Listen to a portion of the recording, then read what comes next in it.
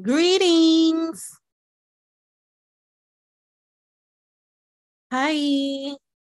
It's my birthday. It's my birthday. Yo, y'all gonna get sick of me saying it's my birthday. It's my first of all, it's my birthday all fall until winter. Definitely gonna be my birthday all month long. I didn't even plan nothing like special for my birthday, but I'm going to, which I'll probably end up doing in November. But hi, um, welcome. I usually, mm, sometimes I like to start this show at six, but I wanted to do it an hour early today at at five um because this is most likely going to be a two hour show. Because i said when i do the my show dana with the data is going to be hour and a half. I came to that conclusion recently. I am going to open up the phone lines that'll be later in the show. Hi hotspot casino. But today is going to be a special show right?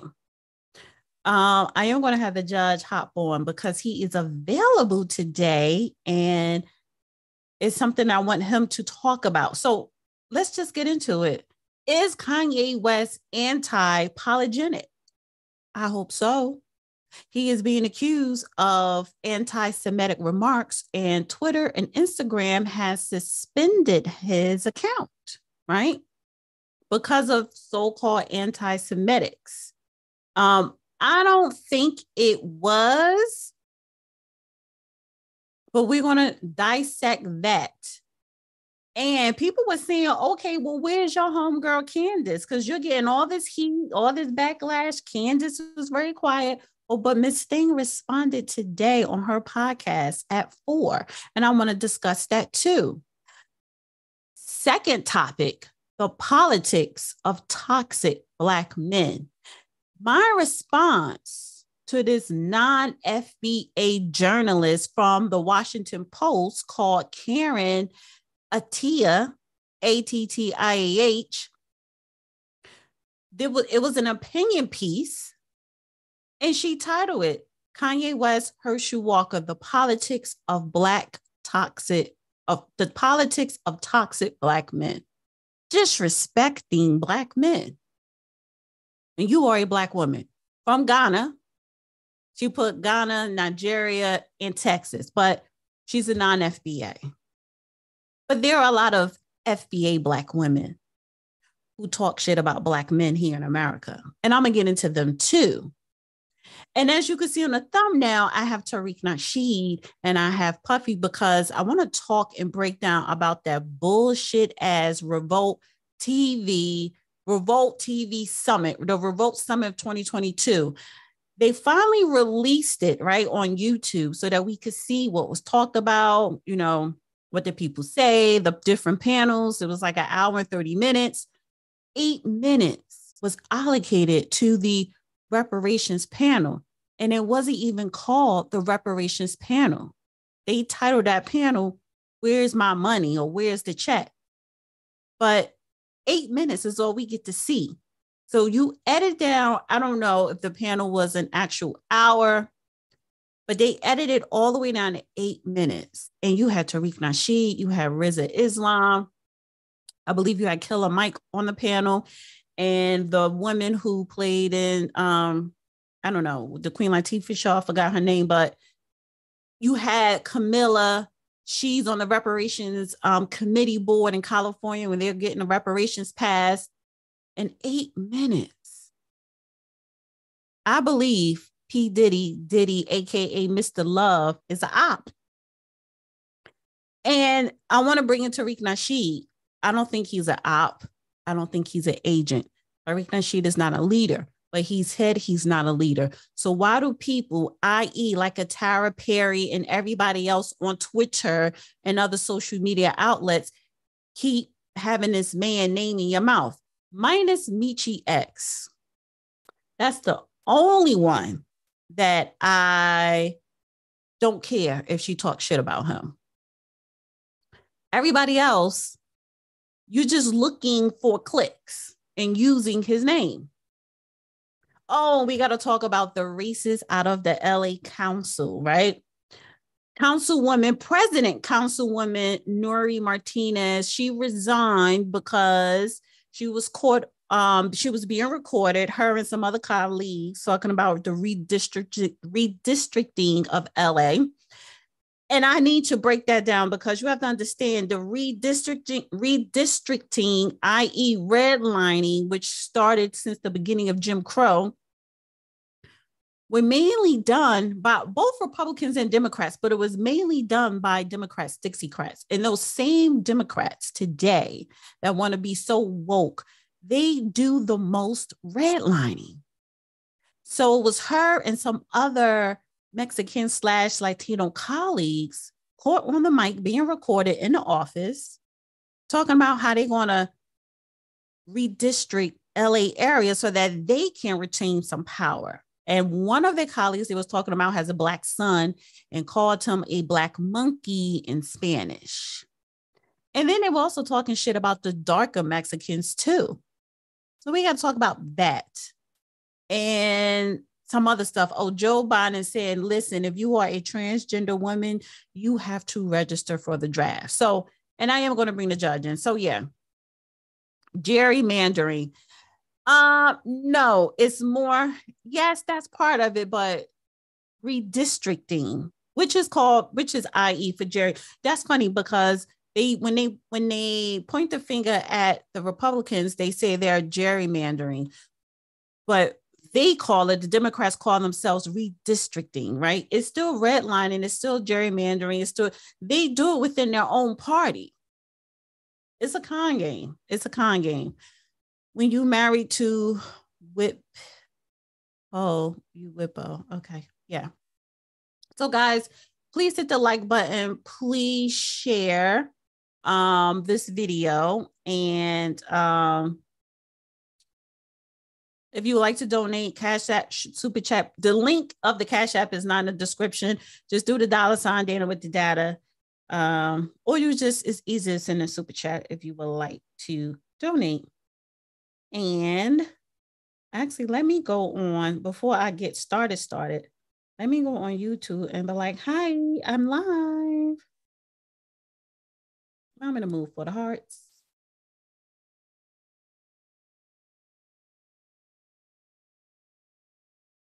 Which one? I guess this one. That's too many damn hearts. What is this? I don't need no fire, honey. Oh, wait, let me see this one. Little kisses. Yes. Hi, I'm live on YouTube. Click the link. We got to talk about Kanye. Hi. No, that was boring. We got to talk about Kanye. All right, let me do it over.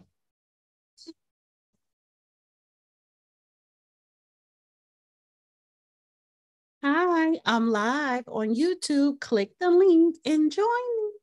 We're going to talk about Kanye West. We got to talk about the LA Councilwoman. And of course, we got to talk about Joe Biden and Tariq Nasheed and P. Diddy. So click the link. Hi. All right. Let's see. Uh, copy. Hi, I'm live on YouTube. Click the link and join me. We're going to talk about Kanye West. We're going to talk about the LA Councilwoman. And of course, we're going to talk about Joe Biden. Hi there, Vernon. Oh, honey, you got the transgender flag. Yes. All right. So, where the hell do I want to start? Kanye West has been on a warpath he's been airing people all the way to hell out. And I want to pull something up. Where I'm to start at.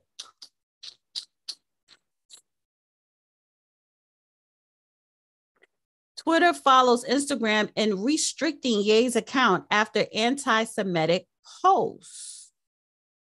Okay, so Kanye West Instagram and now Twitter have both restricted the account of Ye, the rapper formerly known as Kanye West. Twitter confirmed to NPR Monday that the company has locked the account for violating Twitter policies. A spokesperson will not comment on how long the restrictions will be in place. Um, Meta, which owns Instagram, told NPR Sunday that it removed content that violated policies. It didn't specific, specify which posts were responsible for re- restrictions. So,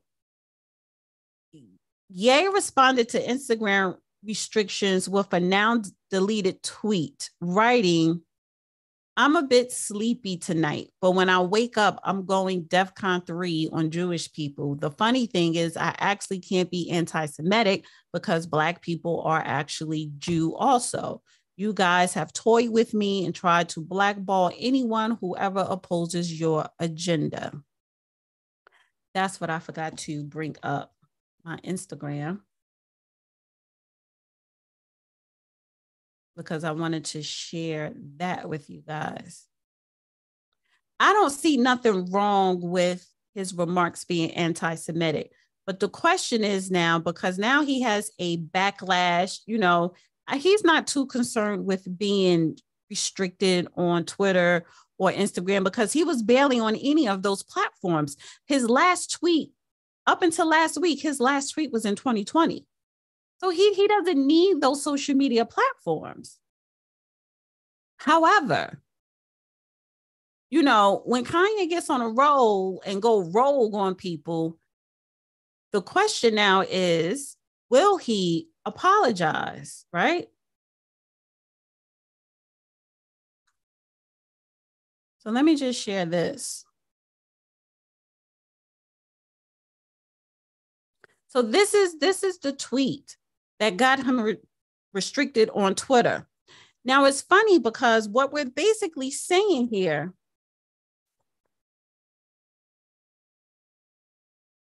What we're basically saying here is you cannot use the word Jew or Jewish people. You cannot. And they're emphasizing on DEF CON 3. That doesn't mean what they're trying to make it out to be. It does not. Um, however, when we talk about Jewish people, um, when we talk about, you know, their movement, um, their reparations that they received and he, they keep receiving not only from Germany, but from France and from United States, from Israel, from everywhere in the world, because they publicize their suffering and they should, and they should, but they have a strong hold they have strong alliances amongst each other that they don't cross. When you talk about being on code, that group, Jewish people, they are on cold and they will always be on cold. They don't always agree. You have Republican Jews, you have Democratic Jews, you have all types of Jewish people with all beliefs, Orthodox Jews. But one thing that they stand on together is reparations, the fight for their people, to make sure that the Holocaust never happens again. And you have to respect that. You do. However, we have a right, Americans, citizens, or just human beings, we have a right to voice our opinion. It's nothing wrong talking about Jewish people, um, their history, the Holocaust or Hitler or whatever. But you have to learn how to have the Jewish conversation without being offensive. Now, was this offensive? Maybe. But was it anti Semitic? Absolutely not. And then you have someone like a Michael Rapaport Wait a minute. I meant to save this. I mean, I mean, share the sound. Give me a second.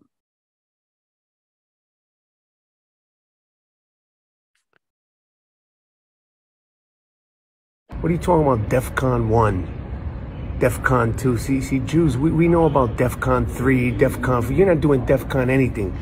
With the Jews, we, we know about that. DEF CON 5, 6 million. We know all about that.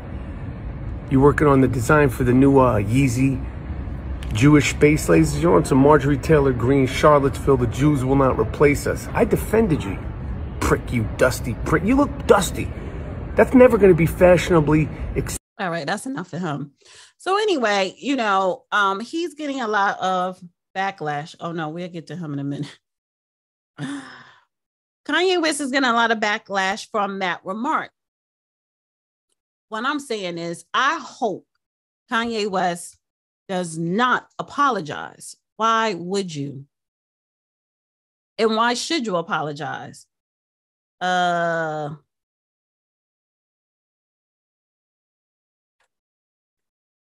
you should not apologize because you did not say anything that was anti anybody. You were basically pushing back against whatever system, right? Is Kanye West crazy? No, he is not. People keep saying, oh, well, he's crazy. You know, he's having an episode. This man is not crazy. Um, when you call somebody crazy, that's very dismissive and it is disrespectful. He is not crazy. Kanye West is very talented. He is. He is very talented in his craft of music. That's it.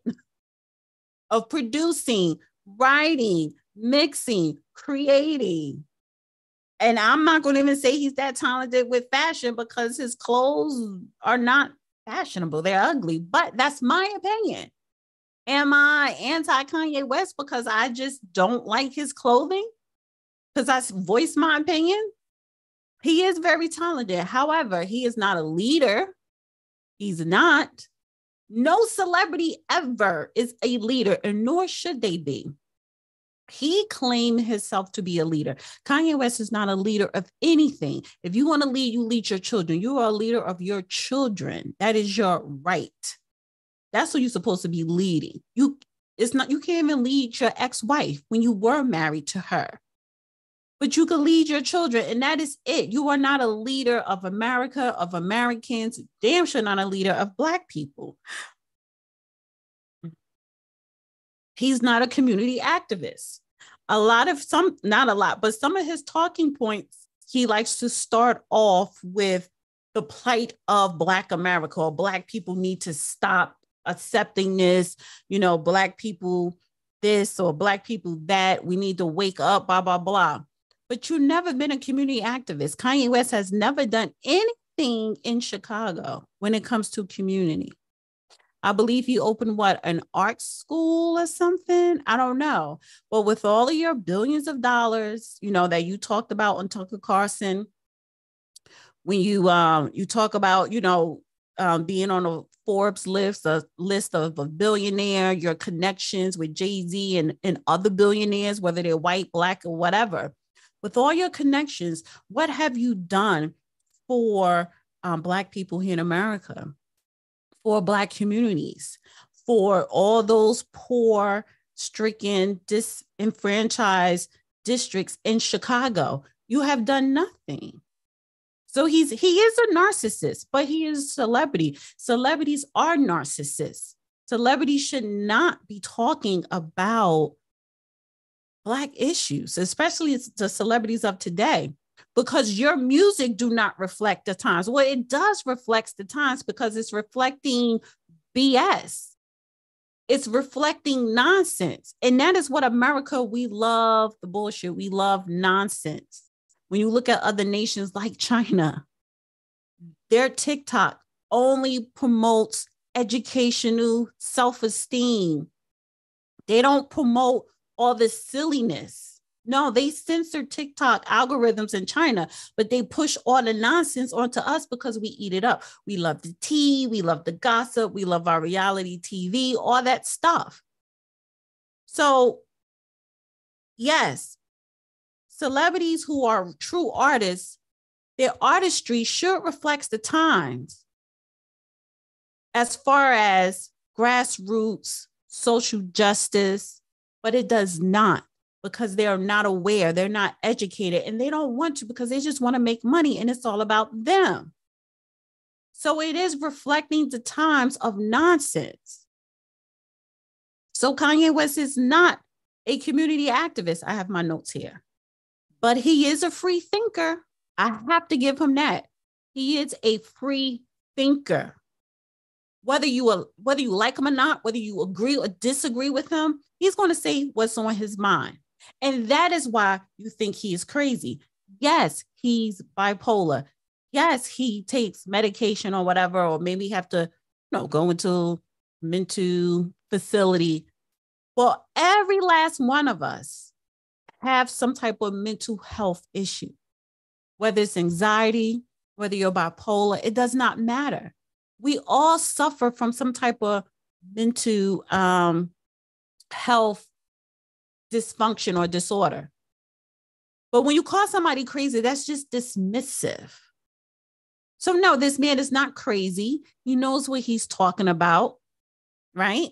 He knows how to get the attention, he knows how to trend. I'm pretty sure he's not going to just stay quiet for the next seven days. And if he does, boom, he's going to come out with something else. The last time he tweeted on Twitter,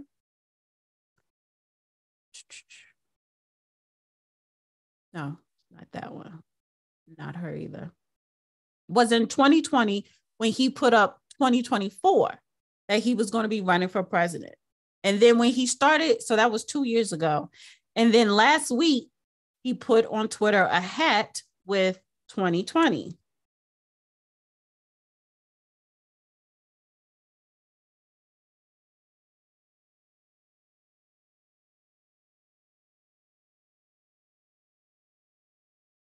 I'm trying to pull it up.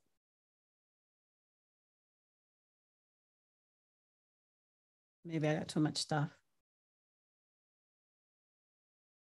I don't know because I don't feel like going out But no, I could use this one. Yeah, I'll just go back to her.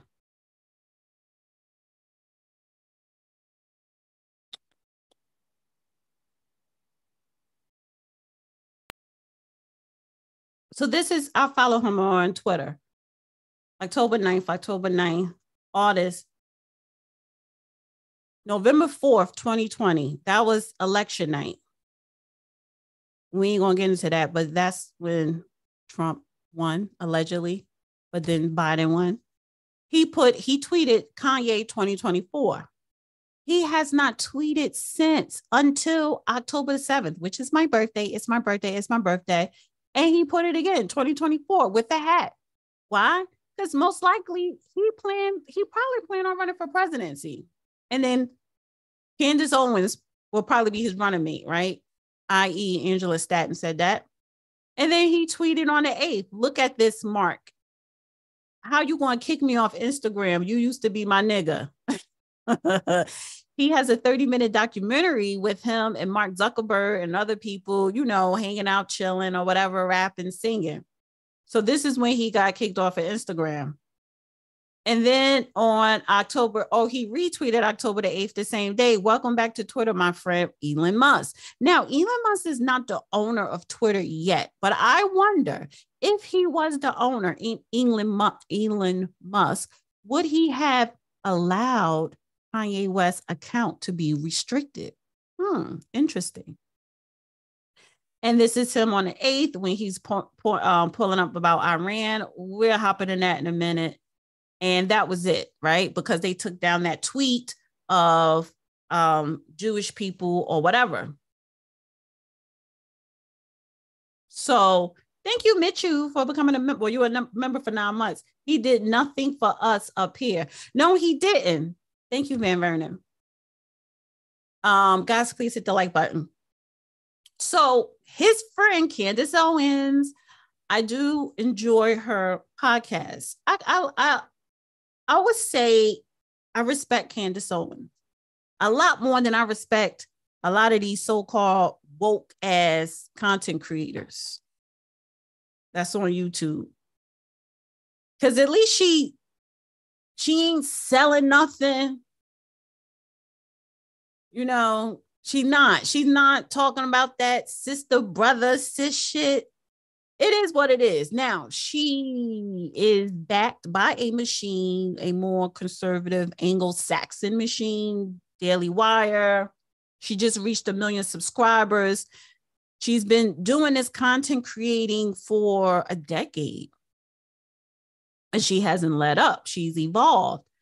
So, because people was calling her out saying, well, why are you not defending your friend? Because he's getting slaughtered in the newspapers, on Twitter, everywhere. You got Newsweek calling him an anti-Semitic, all these fake ass celebrities coming after him, just a whole bunch of BS. They're trying to cancel Kanye West.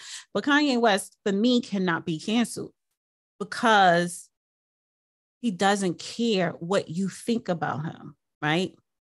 I'm pretty sure he has his money saved somewhere where you can't touch it.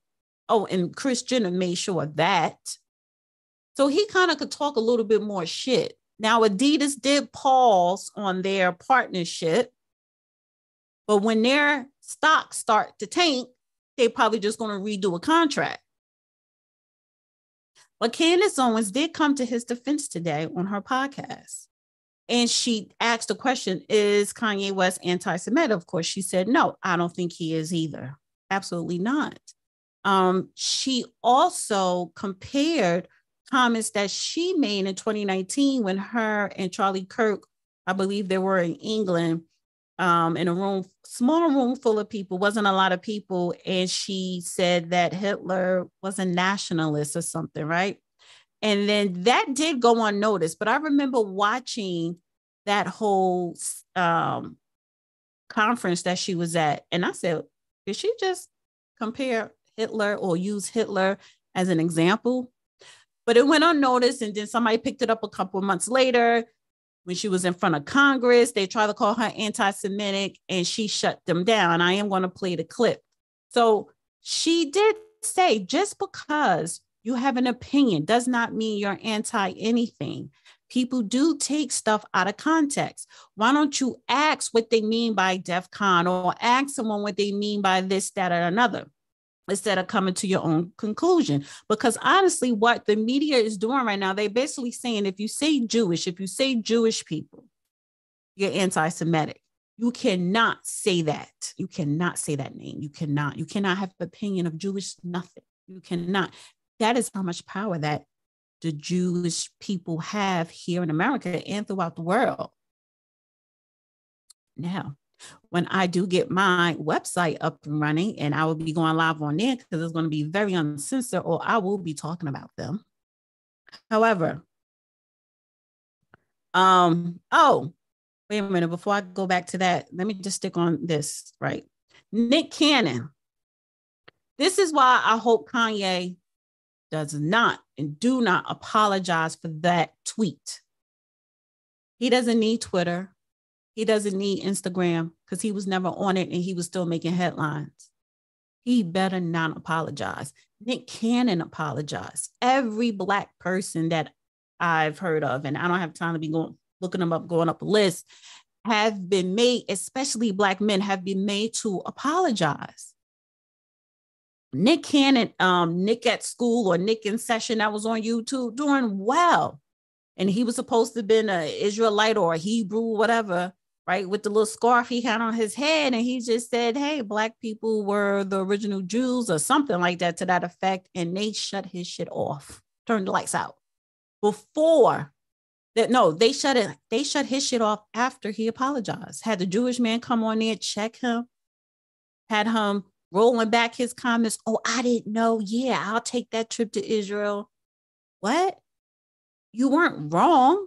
However, after he apologized, they took that YouTube. He took down all his YouTube shows, the Nick in session, the one he had with Dr. Umar Johnson, the one he had with Tariq Nasheed. They weren't even talking about Jewish people. but he took all that shit down. Apologized, took it down, and they turned the lights off. And this is what sets Kanye West apart. This man has not talked about reparations. He that he didn't say he supported or don't support it. He probably don't support it because he is more on that conservative Republican train of Trump or whatever, whatever. But the one thing that would stand Kanye West apart from black celebrities, celebrities, and particularly black men, let's throw black women up in there, is that he is a free thinker and he utilizes it. If you are a Black man, you are not allowed to be a free thinker. He's going against that. And I do appreciate him for that because more Black men need to start sticking up for themselves and their group. Now, just to swing back real quick, finish up with Candace Owens. This is the remark she made. And they was trying to call her anti-Semitic. Yeah, I agree. I, I actually don't have any problems at all uh, with the word nationalism. I think that it gets, uh, the definition gets poisoned um, by elitists that actually want globalism. Globalism is what I what I don't want. So when you think about whenever we say nationalism, the first thing people think about in at least in America is Hitler. You know, he was a national socialist, but if Hitler just wanted to make Germany great and have things run well, okay, fine. The problem is is that he wanted he had dreams outside of Germany. He wanted to globalize. He wanted everybody to be German, everybody to be speaking German, everybody to look a different way. That's not, to me, that's not nationalism. Um, so, in thinking about how it could go bad down the line, I don't really I don't really have an issue with nationalism. I really don't. I think that it's okay. It's important to retain your, your country's identity and to make sure um, that what's happening here, which I think is incredibly worrisome in terms of the just the the decrease in the birth rate that we're seeing um, in the UK, is what you kind of want to avoid. So I'm not, I don't have anything problem. I have no problems with nationalism. It's globalism that I try to avoid. Um, she does have a point with that globalism versus nationalism. And that is a great conversation that I do want to have with Judge Joe Brown when we do the show on Thursday. Um, what is globalism? What is nationalism? I think a lot of people don't know, and you'll be surprised how they try to make global globalism to be like a good thing, but it's actually doing more harm. Whereas nationalism is all about you making sure that your nation, where you live at, stays strong.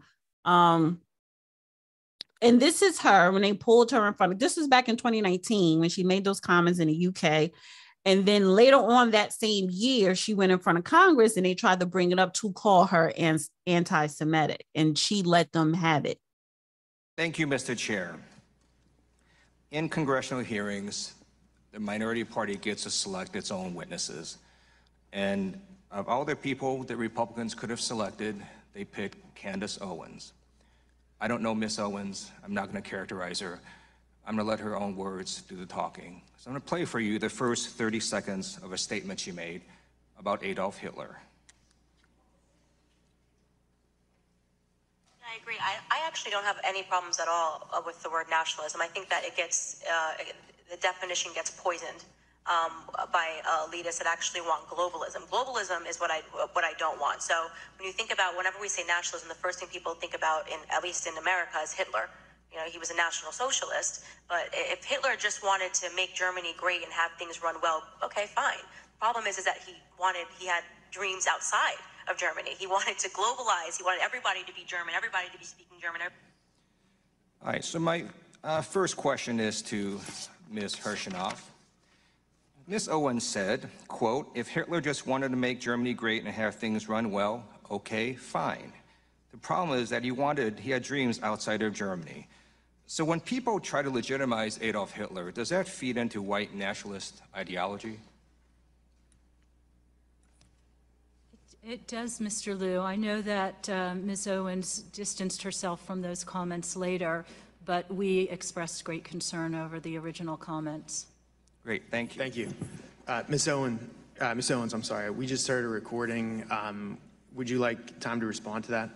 Yes, um, I think it's pretty apparent that uh, Mr. Lieu believes that black people are stupid and will not uh, pursue the full clip in its entirety. He purposely presented an extract, an extracted witness, clip. The witness will suspend for a moment. It is not proper to refer disparagingly or with, to a member of the committee. Mind you, wait a minute. Mind you, this was under the Trump administration. This was when Trump was president in 2019. This was before COVID. And you had majority, this Democrats in the House. So witness may continue. Sure, even though I was called despicable. Um, witness may not refer to a member of the committee as stupid. I didn't refer to him as stupid. That's not what I said. That's not what I said at all. You, you didn't listen to what I said. May I continue? Please. As I said, he is assuming that black people will not go pursue the full two hour clip. And he purposefully extracted, he cut off, and you didn't hear the question that was asked of me. He's trying to present as if I was launching a defense of Hitler in Germany, when in fact, the question that was asked of me was pertaining to whether or not I believed that Hitler was a, whether I, or not I believed in nationalism, and that nationalism was bad. And what I responded to was that I do not believe that we should be characterizing Hitler as a nationalist. He was a homicidal, psychopathic maniac that killed his own people. A nationalist would not kill their own people. That is exactly what I was referring to in the clip, and he purposely wanted to give you a cut up similar to what they do to Donald Trump to create a different narrative. That was unbelievably dishonest, and he did not allow me to respond to it, which is worrisome and should tell you a lot about where people are today in terms of trying to drum up narratives. By the way, I would like to also add that I work for Prager University, which is run by an Orthodox Jew. Not a single Democrat showed up to the embassy opening in Jerusalem. I sat on a plane for 18 hours to make sure that I was there. I'm deeply offended by the insinuation of, of revealing that clip without the question that was asked of me. Okay. Thanks, Mrs. Owens, and I yield the remainder of my time. Thank you. And this is why, like, yeah, you have Republicans allowing her to talk to speak the truth. Listen, um, and he just sitting there looking stupid because it's like, okay, you thought that, oh, you was doing something trying to expose her. And Miss Thing just slayed you. She read you in and out. But Candace Owens had come a long way because remember her hair used to be looking a hot mess, honey. See that when she had when she was pregnant with her first son, the babies, a lot of times when you're pregnant as a woman, that makes your hair grow full and long and healthy. Because she had split ends. I don't know if she just had the wrong person doing her hair. She was looking a hot mess. But now let me pull up her um her um her YouTube channel, honey. Cause she looked fabulous now. And she reached her 1 million subs. This is I thought this today's. Yeah, this was today's.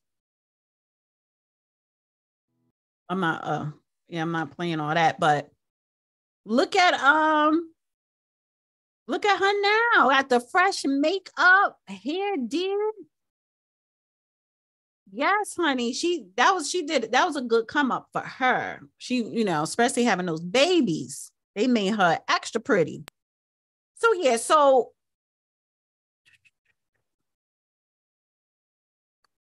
my whole point with that is stop calling someone racist or anti Semitic because they have an opinion. You need to distinguish between the two. He did not say anything wrong. Every group, there are Black people who are racist, but every person has said something that, you know, has said something negative about another group of people. Um, but Kanye didn't do that. He was critiquing also in his Tucker Carlson um, interview, uh, he was talking about Jared Kushner. And then I, I, I am going to get into um, black men. Y'all need to be coming for that black woman, the toxic, the political toxicity of um of um of black men or whatever. Just give me a minute um, Kanye West on Jared Kushner. Because now they're trying to use what he said about Jared Kushner in his interview with Tucker Carlson. I'm trying to pull up that damn thing. Maybe it's this one.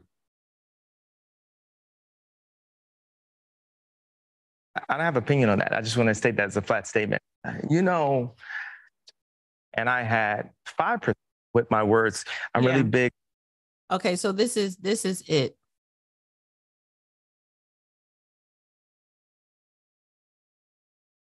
Company in order to create more relationships for themselves that are unneeded. It's like when I went to the company that they don't have to product uh, trouble when her business partners are selling pieces of company that they don't have to because the company's already so successful and it's an internet-based company. So it's like they're really just selling off the company in order to create more relationships for themselves that are unneeded. It's like when I went to the Gap and with our release, they just 150 million, and I'm sure Jared still has a piece of that fund.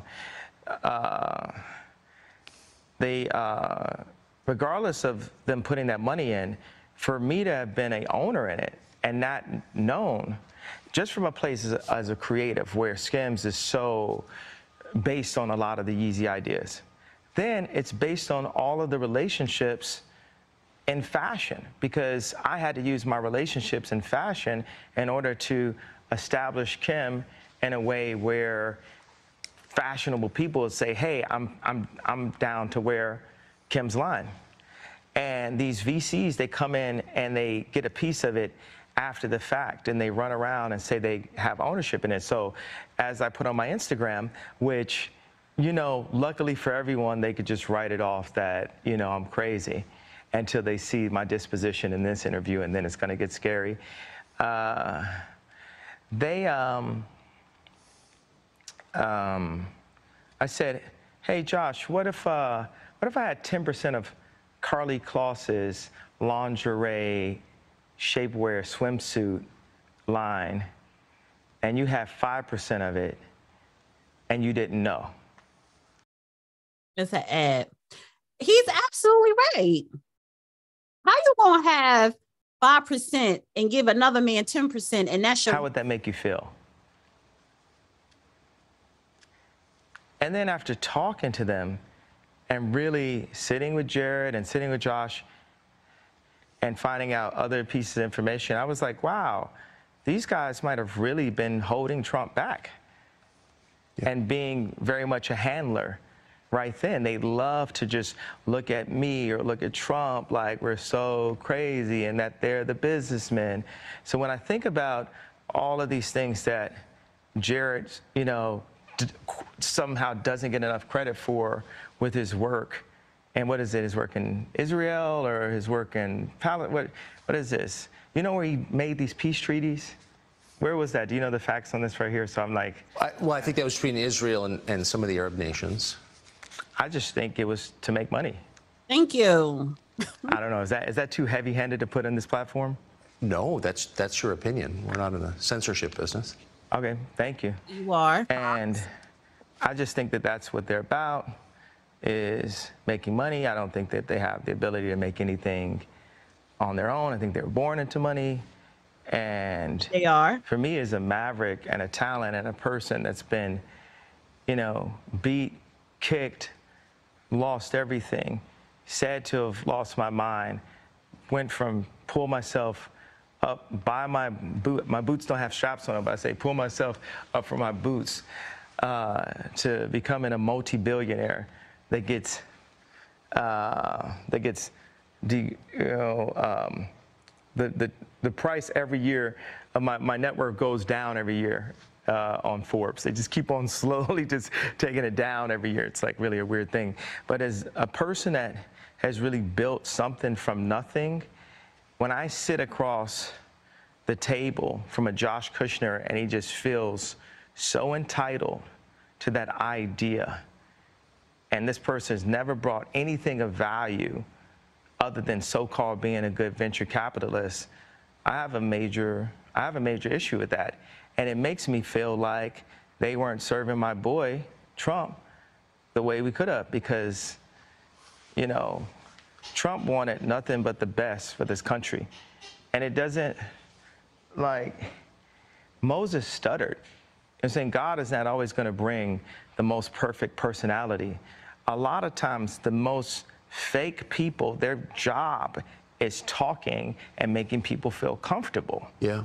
You know, and the realest people are going to make you feel uncomfortable. I love that comment. Fake people are going to make you feel comfortable, but the realest people are going to make you feel uncomfortable. Why is that? Because the realest people are going to tell you the truth. And a lot of people don't want to hear the truth. Give me a second. Let me.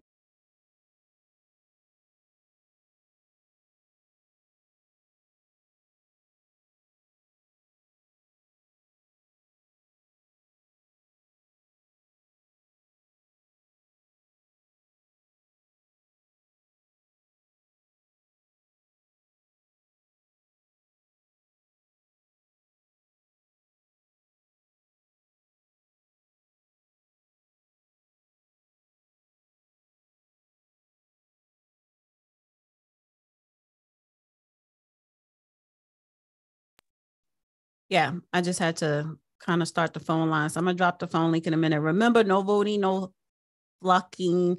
If they do vote, they can't come over and gerrymander this pussy like Trina. Yeah, yeah. And that's what I'm saying. So speaking of rap, you know, but I, I love that comment that Kanye said. The fakest people are going to make you feel so comfortable and relaxed so that they can manipulate you, right? Basically.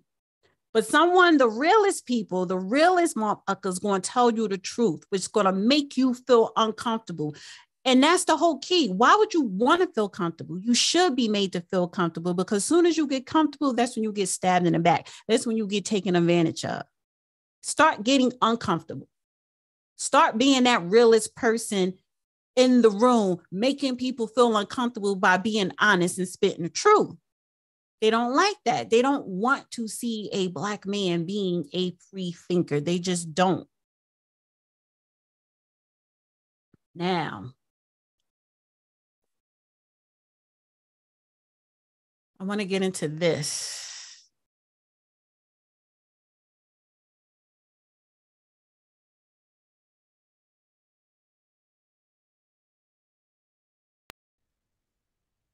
Kanye West, Herschel Walker, and the politics of toxic black men.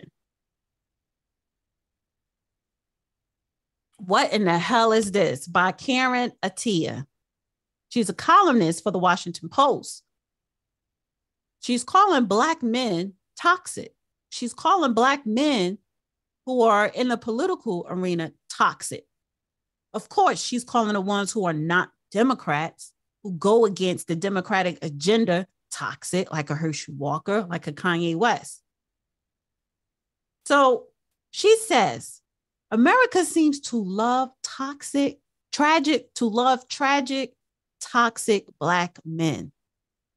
And I want all you Black men out there, how about y'all write, tweet, or message the Washington Post with disagreement and discernment for this woman?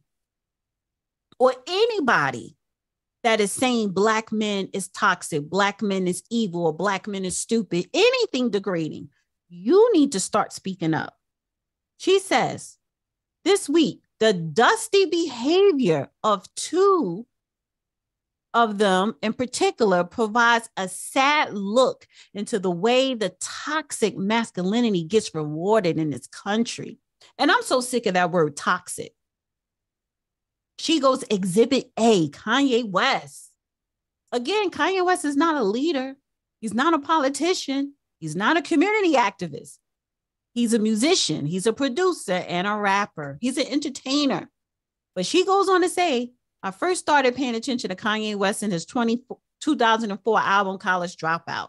That was back when Kanye was one of the conscious rappers who made it to the mainstream.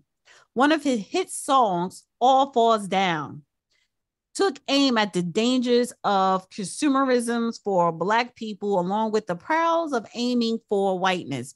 Are you crazy? Yo, she's bugging. He rapped, and for that paper, look how low we're stooped. Even if you in a Benz, you're still a nigga in a coupe. Well, Kanye West still feels the same way about that now. Change. Was never a conscious rapper. He was a music producer. I love everything about the album, that song in particular. Looking back, however, West seemed to have been foretelling his own.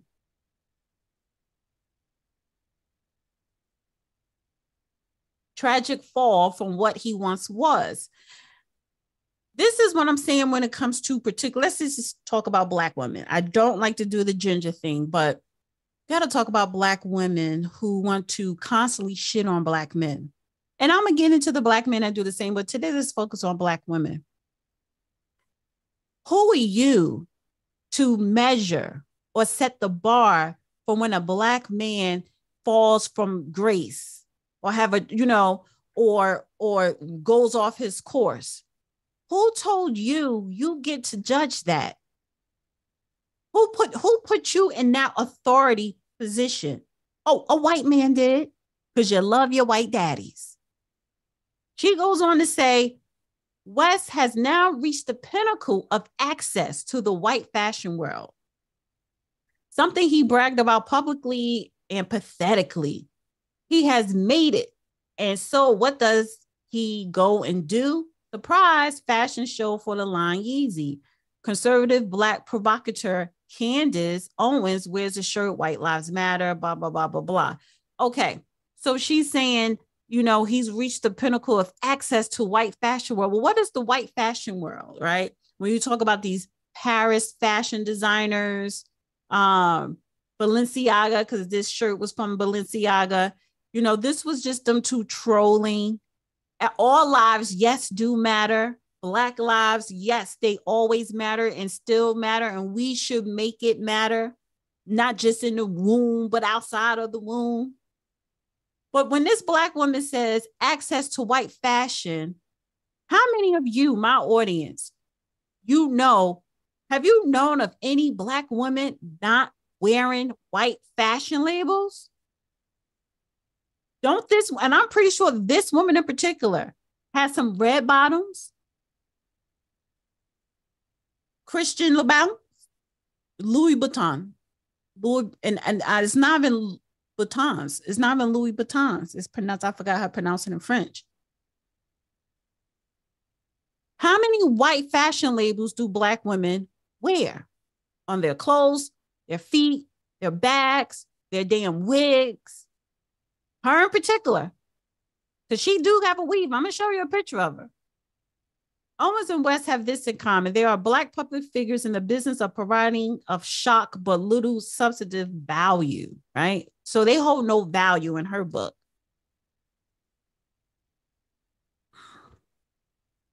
The stunts he have been increasing in West's case from his posing with President Donald Trump in a Make America Great Again hat to his pronouncing slavery was a choice he has cyber harassed ex wife Kim Kardashian, aimed violent and menacing messages at Kardashian's ex boyfriend. When a Black female editor at Vogue criticized his White Lives Matter shirt, West fired back, blasting her fashion choices.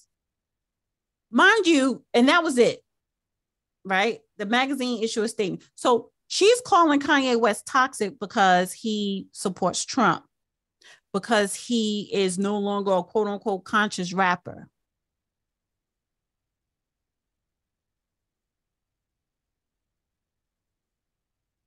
This is her Twitter. The role of the artist is to make the revolution irresistible. Bitch, you're not an artist. Karen Attiah, Ghanaian, Nigerian, Texan, communist, communist, columnist of the Washington Post, right? And she penned this article. She is so proud of this article. You just criticized. The only thing you did, you called this man toxic because you don't agree with his fashion and his music. He wrote two gospel. He released, I think it was two gospel albums. He's probably a born again Christian. That's his business. He's a father. He's an active father. He was married. He did not have his kids out of wedlock you don't have a problem with her marrying a white woman because you are actually here defending Kim Kardashian. So, what is your problem with this black man that you want to call him toxic? And that is the problem that we're having in the black community with this gender war. But the problem is the major thing is you do have black women in these positions of media who is giving a platform by their white daddy to disrespect and disregard Black men as if they have no type of intelligence, no type of leadership. That's basically what she's trying to paint here. So then let's go into Exhibit B, Herschel Walker.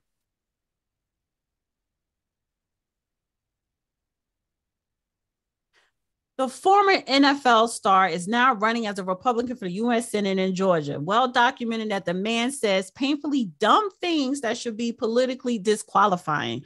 On climate change, he has observed that Georgia's good air could float over and replace China's bad air, which would need to be cleaned up before the air got back to Georgia. He has questioned evolution acts and why are there still apes? Think about it. Okay, so listen maybe Harsh, Herschel Walker. Listen, he was an athlete. How many Democrats have said some dumb shit? So, you know, if you want to paint Herschel Walker as a dumb blonde, whatever.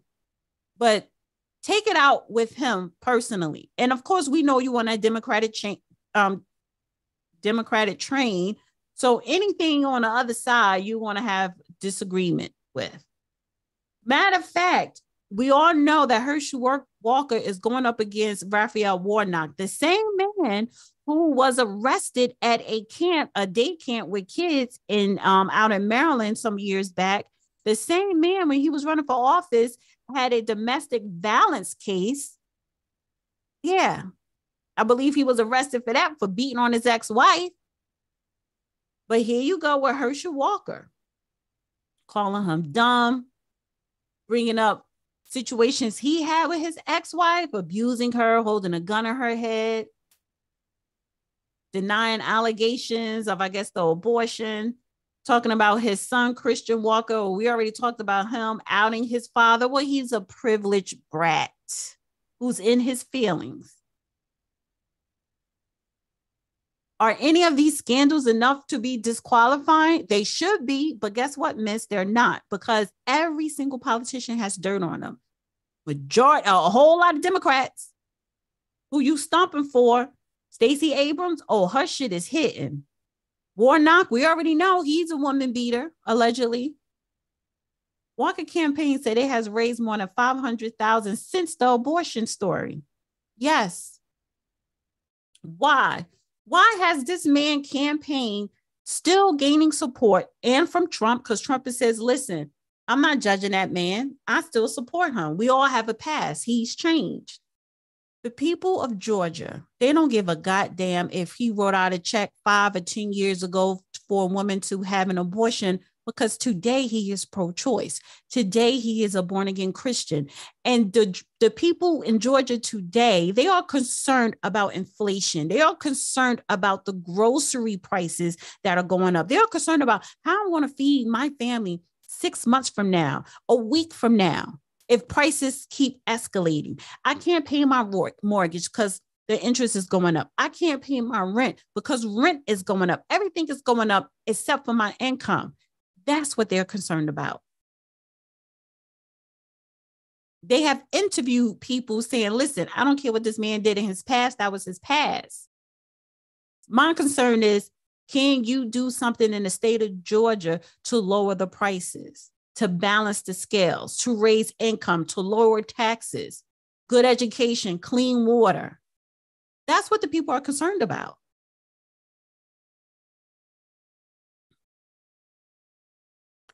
She goes on to say, if I had my way, I would dismiss these two as clowns. But America just makes this impossible to ignore. The country love to inundate us with the coverage of black male figures embodying the archetype of dumb, violent black servant eager to please the white masters. Well, bitch, you're doing that. You're pleasing the white masters with this article. You're being a servant to your white master. Black men are not stupid if they choose to be conservative. Black men are not stupid if they choose to vote for Trump or any Republican, especially if they have been a lifelong Democrat. I've written it before and I write it again, especially in our MAGA era. Anti Blackness and misogyny are profitable in America, especially if you're a rich and famous man of color. So much for cancel culture, right? West will get the publicity, the outrage clicks, the a spot in the news cycle. Stores would carry his designs. He would be invited to the boardrooms of the fashion world, and he releases his music. Blah blah blah blah blah. He'll still get that paper no matter how low he stoops. In Walker case, he got the MAGA activating endorsement of Trump, and he's getting even more cash and support from other Republicans. But what can be done? I think it's worthwhile and necessary to reward Black men who are doing good in society with our attention, votes, and money. We can when we can. For my part, I try not to allow West to profit off my attention. Okay, well, that's you. Now, She did name some black men doing the right thing. But guess who she named? Ryan Coogler. He's the one who directed Wakanda Forever. Okay, how is he doing the right thing? He's a movie director, Fruitvale Station, Creed, Wakanda. He's an entertainer. He's in the entertainment industry just like Kanye West. He's making money. His masters are white because he's being distributed by Hollywood studios that are owned by white Jewish people. She also goes on to say black men who are doing the right things. Trevor Noah, another entertainer.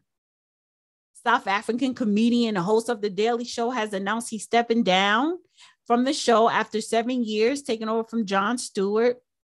He's brought his global perspective in the United States, particularly when it comes to race. He's funny.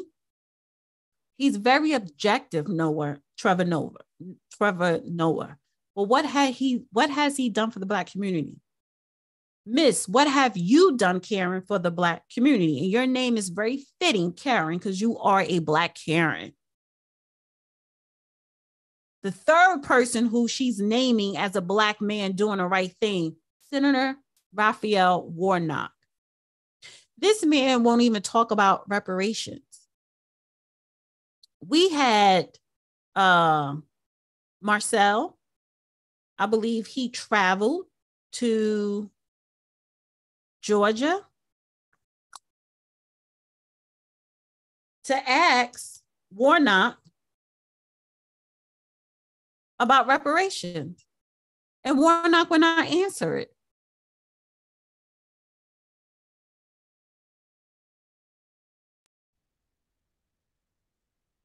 They're going to ignore me about talking about reparations. I'm going to show them better.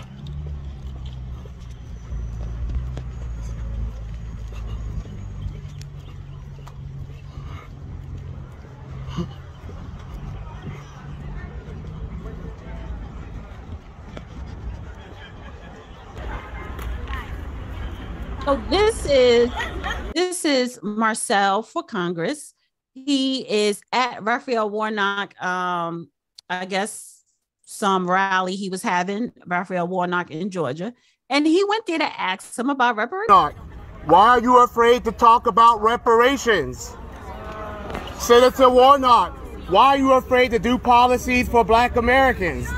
Savannah, Georgia is a 60% black city, and black Americans are 70% of the people in poverty. Black Americans are 80% of the homeless. We own less land now than we did during the days of Jim Crow. We've, uh, you're racist. You're racist. You're racist. You're racist. You were probably at a lynching rally. You were probably at a lynching rally when you were young. You might need to shut your mouth. Anyway, we've lost, we've had 18 million acres of land stolen. We've had 18 million acres of land stolen. Black American men right now have the highest unemployment rate. Why? What are you going to do about that, Senator Warnock? What is your plan? Can you talk to black Americans about what you plan to do about the poverty and the injustices we experience? We own less homes now than we did during Jim Crow. Am I the only person that bothers? Okay? With black voters because she's not talking about black policies for black Americans. I'm trying to fast forward. Americans. Sure. Thank you. Can't be quiet and respectful all the time. Specifically for us. They've done things for Asian Americans. They've done things for Native Americans. But where's the policy to deal with all the stuff we've been through? That's all I'm asking. You have to speak out. Black American issue. You see how I'm treated? You see, if I was here talking about illegal immigrants, they wouldn't be treating me like this. Whatever, man. Get the fuck away from me. You are sorry. All of y'all sorry. Y'all see how people dying, and y'all not saying nothing to this man about it. Y'all see how people dying, and you not saying a fucking thing about it. Y'all put my finger in your face. Get the hell away from me. I know how to walk. Look, uh, anyway, whatever. Whatever. Call the cops. Call the cops. Call the cops. Tell them to shoot. Tell them to shoot. Call the cops and tell them to shoot. You a sellout. God ain't gonna bless you because you a sellout. You a fucking sellout. That's too much of the S word. I love Marcel, honey. I, I had to have him back on my platform. I'm gonna reach out to him. Excuse me. But that type of energy, that is the energy black people need to have. Oh, trust me, Jewish people have that energy every single time. every time. That's why people don't mess with them. That's why to this day they're getting reparations on state, city, national, federal levels and international. Because they're on code. That energy that he just had, all Black Americans need to have that energy. Not sit there, but like, God bless you. I know, I know. But can you just, no. You wanted to ask that man those very important questions about Black American, about Black Americans, about Black people in the state of Georgia, your district. Stacey Abrams is now asking Black men for the vote because she said she cannot be governor unless Black men vote for her, but they're not. They're not. Majority of the Black population, majority of Black people still vote Democrat. But when you have these red states and you are relying on Black people to vote, Black men out of the Black group of people, Black men aside from Black women and children, they are now most likely going to vote conservative. Why? Because they want to make money. So I stand with Marcel, honey, but that's the same type of energy that we need to have and we don't have, right? So when you have this woman, and I do have a picture of her. When you have this woman, a non FBA person, Karen Attiah, Attiah, A T T I A H, who is doing a disservice not just to Black people, especially to Black men, have no respect for Black men because you intentionally said the toxic politics of Black men or the politics of toxic Black men. You keep reiterating how toxic Black men are. And you're using two public figures to drive your weak ass point. That is a problem. So the white man doesn't have to do anything to us because we are already doing it to ourselves because we are allowing people like her. And it's not just so much that she's non FBA or definitely not ADOS, because I see a lot of ADOS slash FBA Black women doing the same stupid shit that she's doing. And nobody is not calling them out. This is for Black men to call out women like her whether she's black or white. But y'all don't do that. So I do hope Kanye West do not apologize. And he doesn't have to. He doesn't need to. But I want Black men to actually start standing up and speaking out against the media when it comes to degrading your name if that would have said, if that article read, headline read, the politics of toxic black women, black women will, it will be a hellstorm. You would see black women um, with all types of pushback, trending everywhere. Take that shit down, writing the Washington Post. See, and, and I will say this about, about black women. They're not going to tolerate a lot of shit anymore. And so my question about black men is why do you keep tolerating and disrespect? Oh, is your only solution is to go overseas or South America to get you a dirty foot woman? The pass be a part of the passport game? Come on. No. Thank you, James Green, for the um, Super chat says, Happy birthday. Guys, please hit that like button and please share this video. I want to go into the LA County person.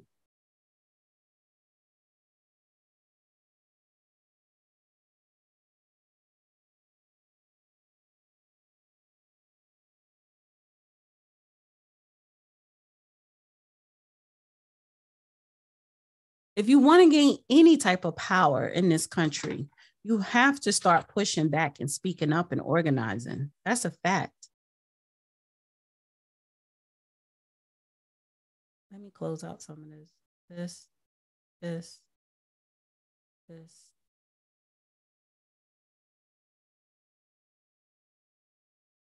Now, let me talk about the Latinos.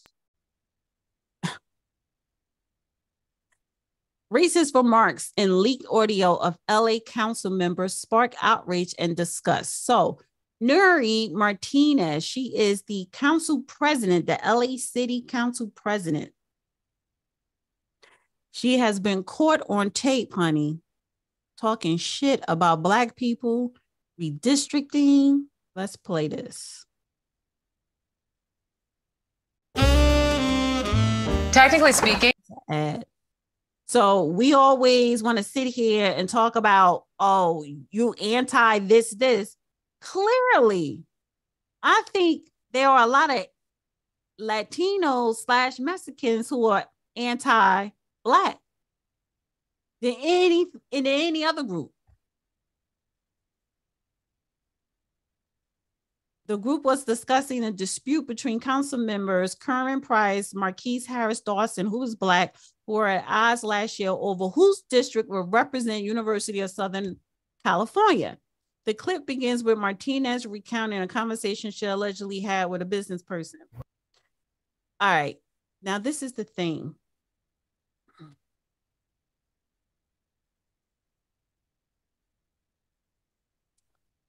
The judge, Judge Joe Brown, that is, I wanted him to come on for this segment. And I'm wondering if I should wait until he come on. I did drop the link if you want to call in to talk about it. Let me bring this phone number in, this phone call, phone call. 940, hello. Hello, Miss Dana. How, How are you? Good. How are you? Good, good, good. I just had a quick question, and uh, that's pretty much. I just had a quick question. So I was wondering, like, uh, you were talking about organizing. So I was wondering if at some point during the show, or maybe like in one of your streams, you could dissect the interview that uh, Roland Martin did at the Breakfast Club. That that's pretty much it. The Roland Martin what?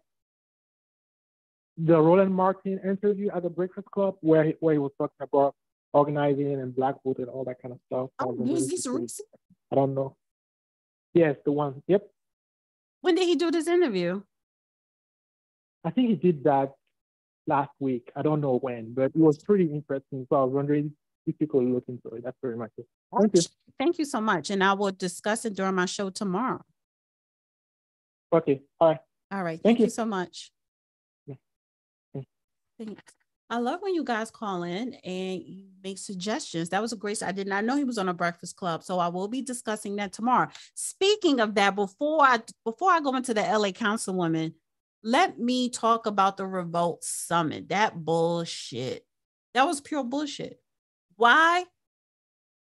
Because you had this is so they finally uploaded the future is now revolt summit by AT&T an hour and 24 minutes right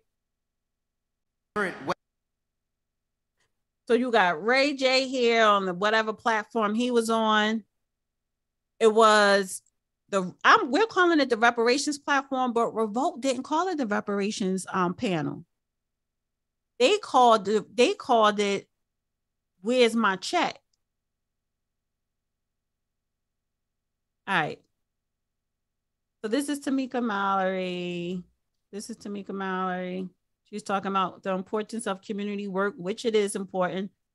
So this is at the 50, okay, so it's an hour and 24 minutes. At the 58 minute mark, this is the panel for the reparations. computers is now trying to be the largest landowner in the United States. You know, if you want a good sense of where to find some food, follow a hungry dog. You know, And then, so this was the panel. At the 58 minute mark, literally 58 minute, and then at the one hour and four minute mark, eight minutes, it was over. That was it. Eight minutes to talk about get your check. Well, run me my money. Who say they speak for us, but at this point it is 2022 going into 2023, and we are still in the same position, if not a little backward from where we were when it comes to our overall progress, I call conspiracy. And I will never trade my place with someone who has a lot of money but no respect for my own people. That's right. Too many of us get comfortable once we get a check and we forget where we came from. That's right. And you don't want to even go back around your people because you feel like we're not even worth being around. That's right. So at this point, again, this is a nice stage, a wonderful event, but knock it off. Those who are really about this, be about it. So that the enemy can say, you know what, we need to stop playing with these people and give them their real respect. Now, Rizza Islam, what he said, that was so true because now that we're talking about, you know, Kanye West being a so-called anti-Semitic, which he is not. Um, the reason why they have the reason why you have this uproar against Kanye with his remarks about Jewish people is because they don't play games. They demand respect. They work together. They do the work.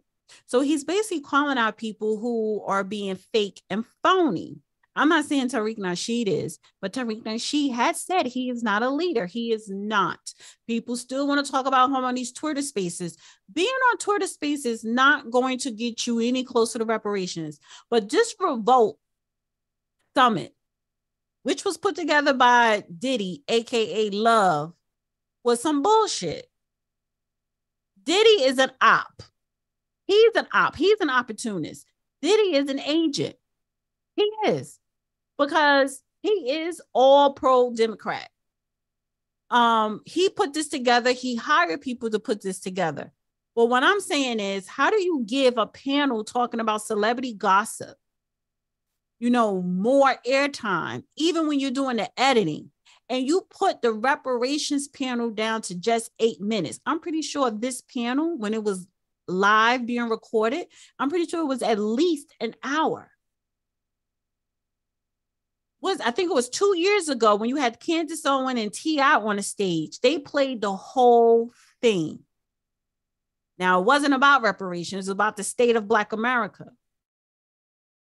But every time we talk about reparations, we get ignored, we get shut out, we get called crazy, we get called agents, ops, all this other stuff, fake, phony.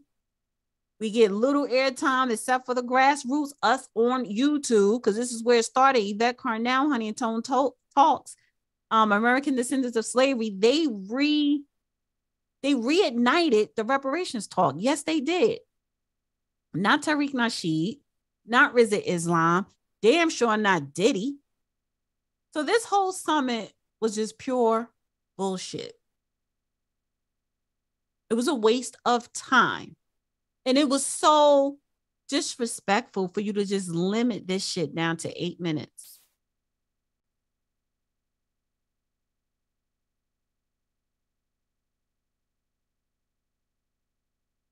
The greater community. Land is one aspect of it in respect to my brother Mike. The thing is, we don't just want land because they'll do what they're doing in Mississippi.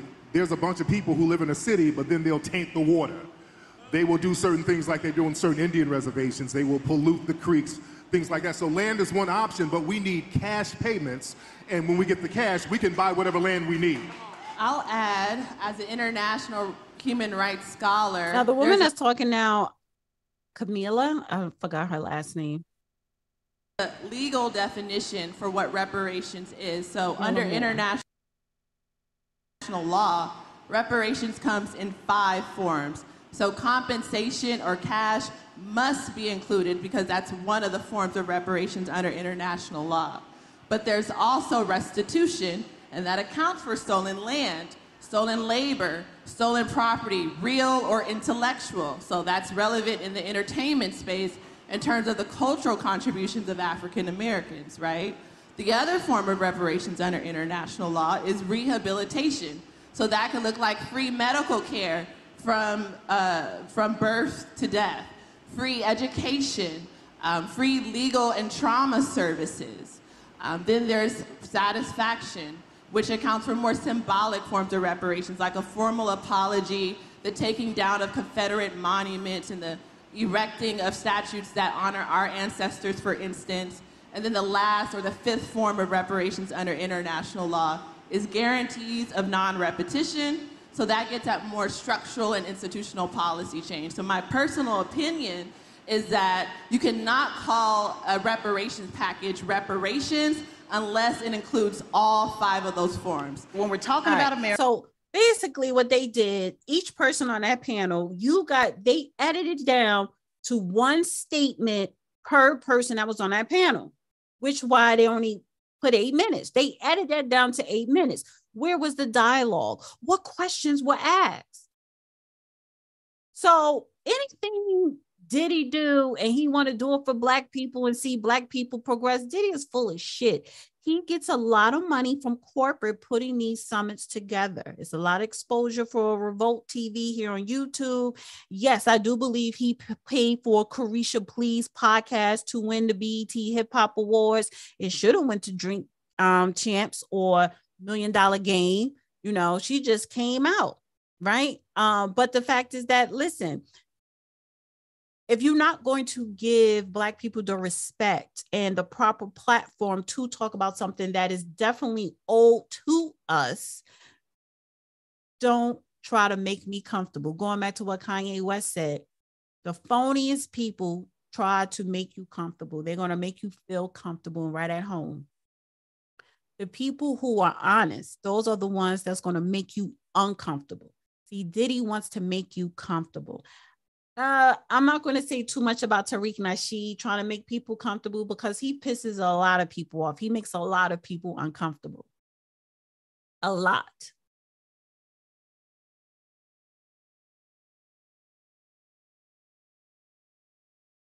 Let me do something.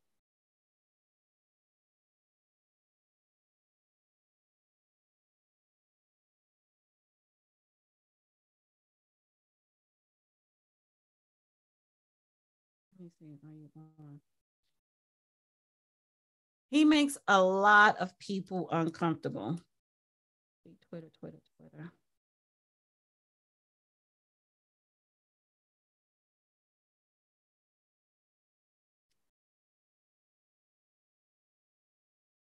Particularly this woman here.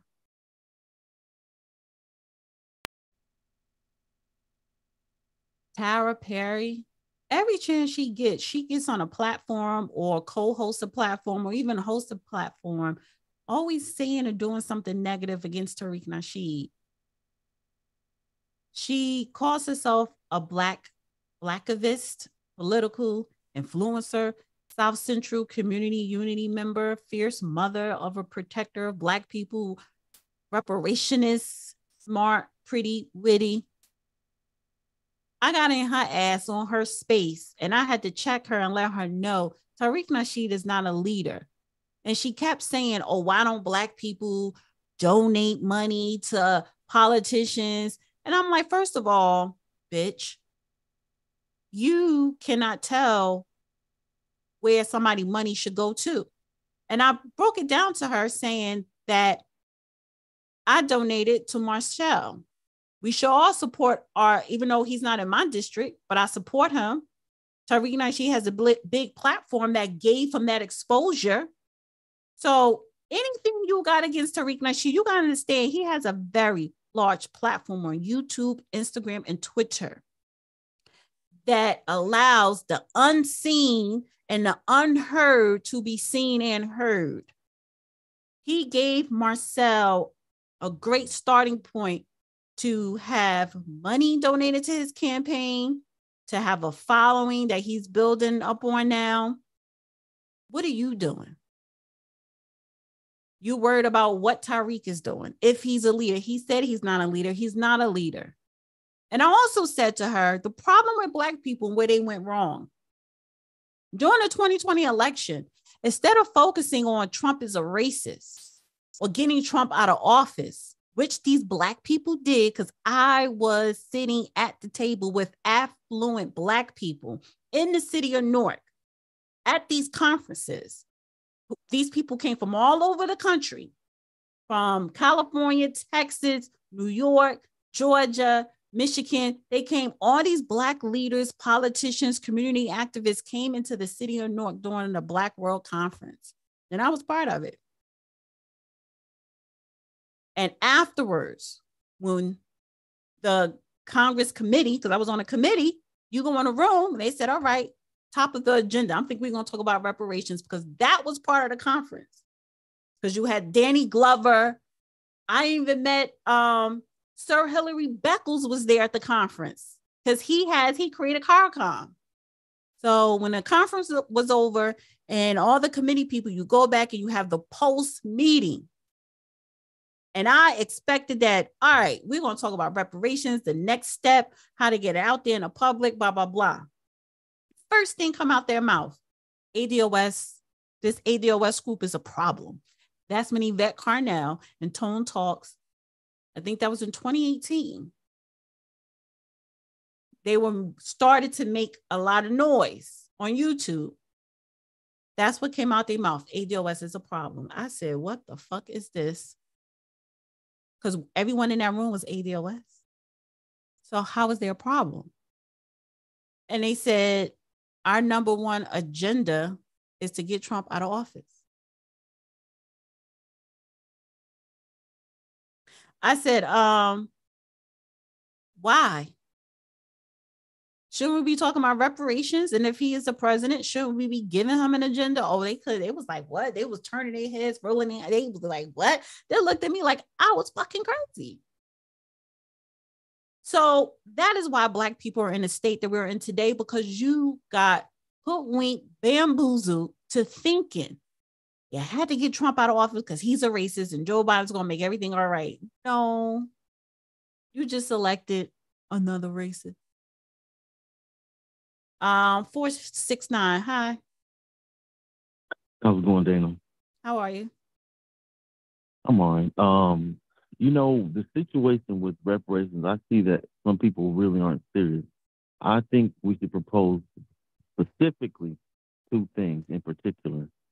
The first thing I think we should um, should bring up to the attention is we should be exempt from federal income taxes. That's one. And then the second thing is, if we're serious about reparations, we should propose that anything because we are going to go through a change eventually of um, of uh, money.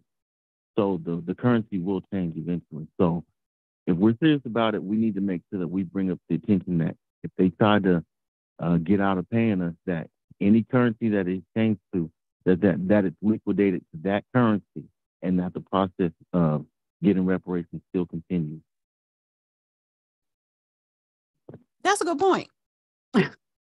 because reparations is not going to be handed over to us tomorrow or a year from now, five years, maybe a decade, right? Um, and depend whether mm-hmm. it's federal, state wise, maybe a little bit different, right? That may come sooner than from the federal government. But you're right.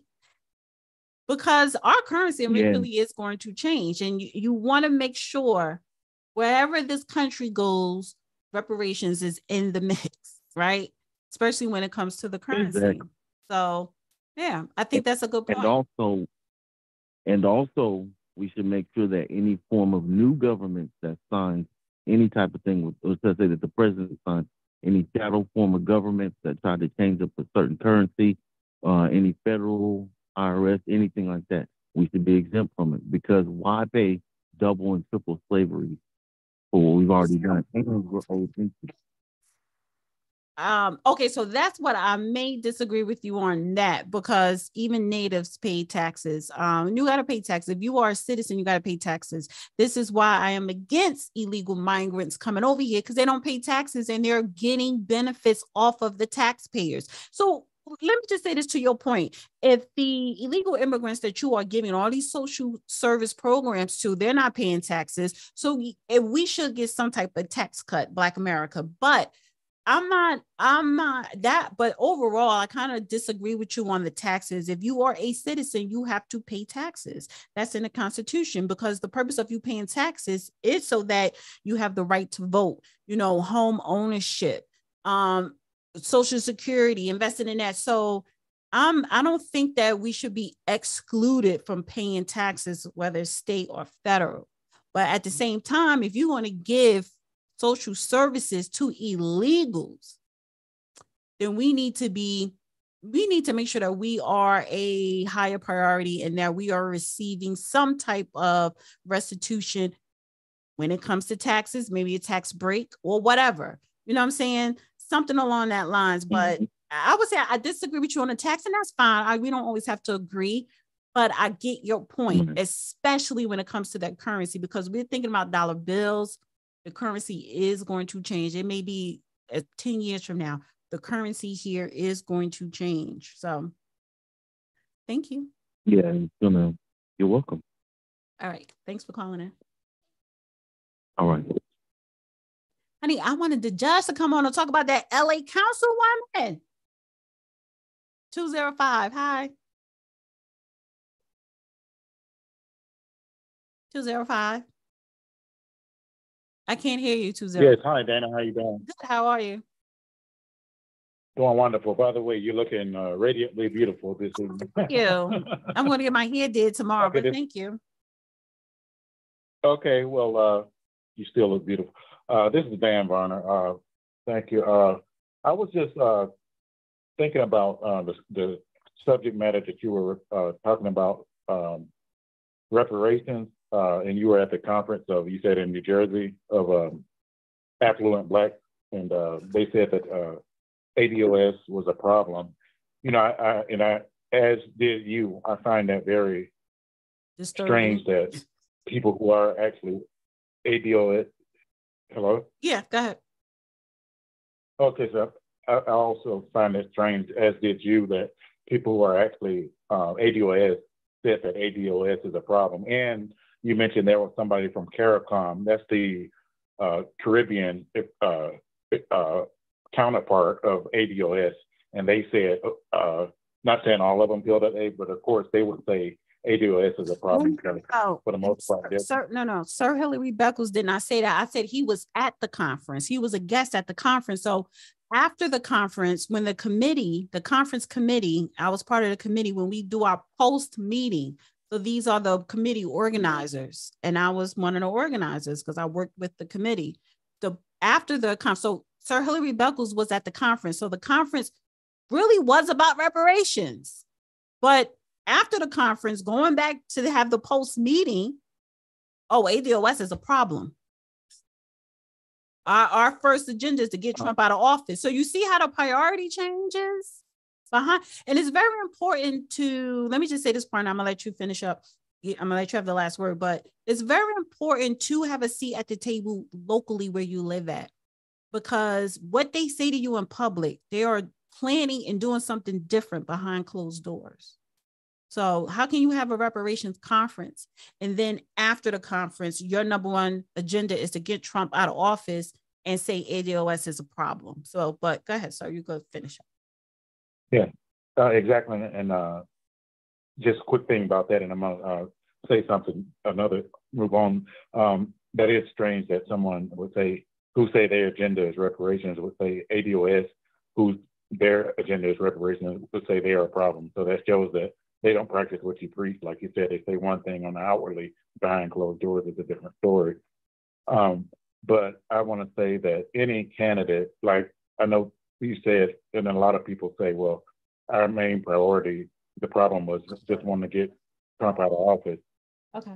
But here, I think, uh, I think that we should ha- have uh, ran different candidates, not just an extra independent party, but different candidates that are more pro-black and pro-reparations, and push for black people to get funding, uh, reparations, or you know, funding in the form of biz- opening businesses and implement um, Dr. Claude Anderson's Powernomics uh, approach of empowering Black America. that's you know, as as is the title of his book, you know, uh, Powernomics, the national plan to empower Black America, we should implement a Dr. Claude Anderson model of reparations. And any candidate, regardless of race, who say they want to advocate for Black people as a collective, you know, I think we could get out of the two-party loyalty system and not saying we automatically a libertarian, but we could run our own independent candidate or whether they fall within the partisan um, parties they are gonna have to not just be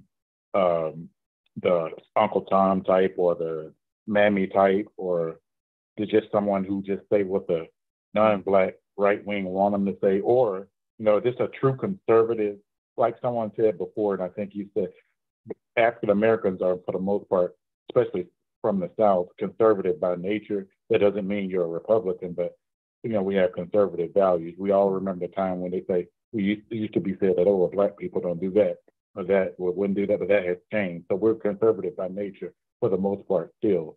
Um, but okay. any candidate, you know, regardless of just the normal partisan politics and just being um, the side chick of either party to just say be glad for you know the little attention that either party give us. I think we should run independent candidates that's going to push for black business ownership and reparations. I know reparations, like you said, probably. You know, I have to move on to another caller, but the thing is, that's yes, we should be doing that, but the, at the same time, you have to demand that and you have to stay on top of that. But thank you so much for calling in. Right, and I just want to say, yeah, we should uh, push in the form of business ownership and and and loans or whatever interest-free loans, and like you said, we should put to be recognized as a special class like the Native Americans and push for tax-free status, and that'll that'll put us on a level, level playing field even more because reparations will be down the road a little bit. I agree, like you said. Okay. Thank you. All right, thank you. Bye. Um, okay, one more, and then I'm just going to get into the LA conversation with that councilwoman because I do want y'all to hear that. The judge said he's coming on, he's trying to get on. Um, 202. Hey, how you doing? Can you turn the can you turn that down in the background? Better? Excuse me. Hello? Yeah. Can you hear me better? Yes.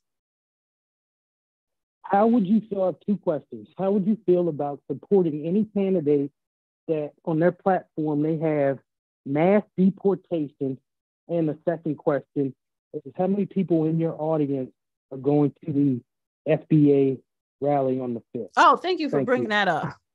What was the first question now? What was the first question? Okay. I he hung up. So I, I I don't know what he's saying the first question was. Um, however, who's going to the FBA pull up? I'm not. Unless I go, I no, I'm gonna take that trip. Bitch, if it's cold, honey, because I don't do I don't do marches and stuff like that. No, I don't. No, no, I don't. But that's a question. I can put a poll. Who's going to the FBA pull up in DC? Are you going?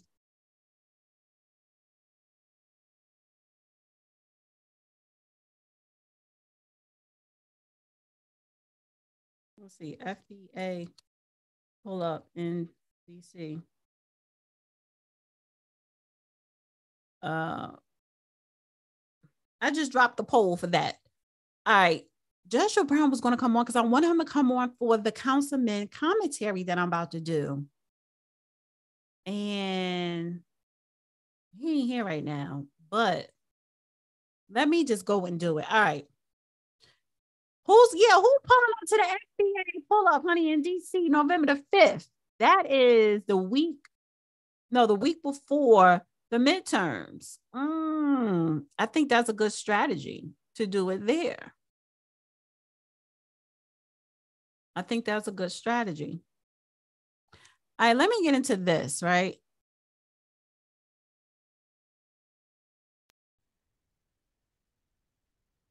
Racist remarks leaked by LA Council President Nury Martinez. The conversation remained private for nearly a year until the leaked recording reverberated explosively Sunday and turned the focus on a spiraling metropolis towards Los Angeles City Hall.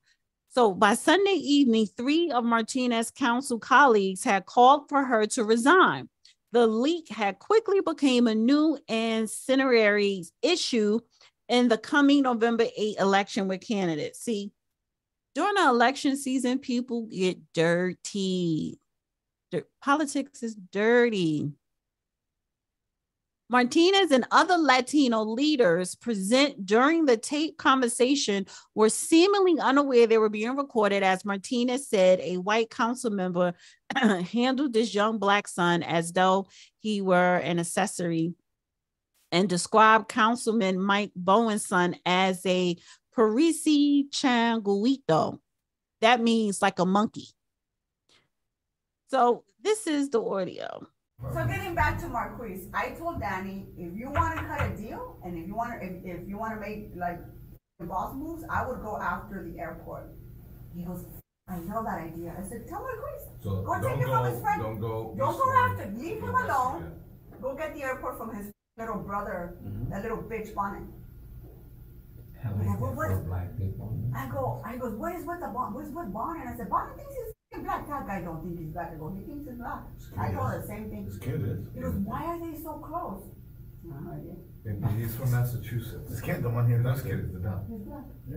Only Latino Lo kids. trae así during Black History Month, lo lleva al, al council y lo pone acá en el, remember, lo trae, he lo, it's, like, it's an accessory. When we do, do the MLK parade, Just like, just like when, when. They used to have those statues When- in, Lo in, trae uh, así, plantations, Wait, didn't and they? then when Nori In the brings the, front. her little yard bag or the, the, the Louis Vuitton bag, and like, so she pretends like And this is how they talk. You talking about council members in these districts. This is how they talk about us behind and in their own behind the scenes. trae trae su, su negrito, like on the side, and su- lo trae, ¿verdad? You sit next to it, you don't got the other side. For MLK, for the parade that Herb used to organize, and we, all the council who wanted to join Herb on the float, because he used to do a whole float to be nice. Bonin would be like, hey, Nury, are you going to the MLK? Well, Herb invited me, yeah, I'll, I'll go. Okay, I'm bringing whatever the kid's name is. I'm like, it's like the oddest thing. It's like black and brown on this float. And then there's these, this white guy with this little black kid who's misbehaved. Este niño has no, he's, they're not doing Boundaries. yeah, no, they're not doing, the kid is bouncing off the effing walls on the float, practically tipping it over. There's nothing you can do to control him. Parece changuito. And I'm just like, oh my God, I'm over here trying to parent this kid. I'm like, you can't do that. You heard her just then. She said Chatico, or Chanchico. That's when she called him the monkey. I said no.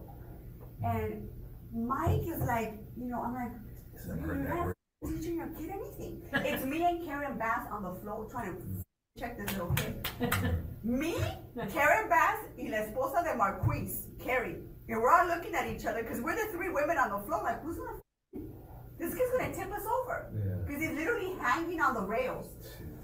Well, you can't let him, let him off, because the, the, the spectators will beat his ass. Yeah. They're raising him like a little white kid, which I was like, this kid needs a beat down. Like, let me, let me take him around the corner and then I'll bring him back. Yeah. ¿Sí me entiendes? Ven para It's a pinch, something. Ya. But he is, he's the fourth black. So anyways, getting back to redistricting. Okay, getting back to redistricting, right? So the purpose, and this is what I'm saying, she called him a little monkey because he was bouncing around on the float, saying her and Karen Bass was, and I, you know what, honestly, I, I kind of get it because when you talk about black and brown, you know, especially let's just take the Bronx or you know, um, Harlem or whatever. A lot of black and brown people live around each other, grew up around each other, and we kind of have same moral, strict parenting background. They don't play that shit. And that's when she said he's raising him like a white kid. The casual conversation they were having, I understand that. Like, I'm not knocking her so much for the casual conversations. There you go. However, the conversations was based upon the redistricting. Who's in charge of what? Who's going to be in control of what? We need to stay in control with the Latinos because if not, you know, they're upset that half half of LA is Latino and they have less than 5% representation. So that's when you're talking about power. You know, it's about gaining power. Hi. You muted. Oh, you gotta press mute. I'm asking you to. It doesn't come on until the screen comes on. Okay. How are you? So, all right. Okay, it's perfect timing though, because I did play the audio. Did you want me to replay the audio so you could hear what this um I guess she's a racist. Um, LA president councilwoman um Nury Martinez. She called Let me hear. Okay, because she called the black kid a monkey. Um all right. Yeah. Let's go back.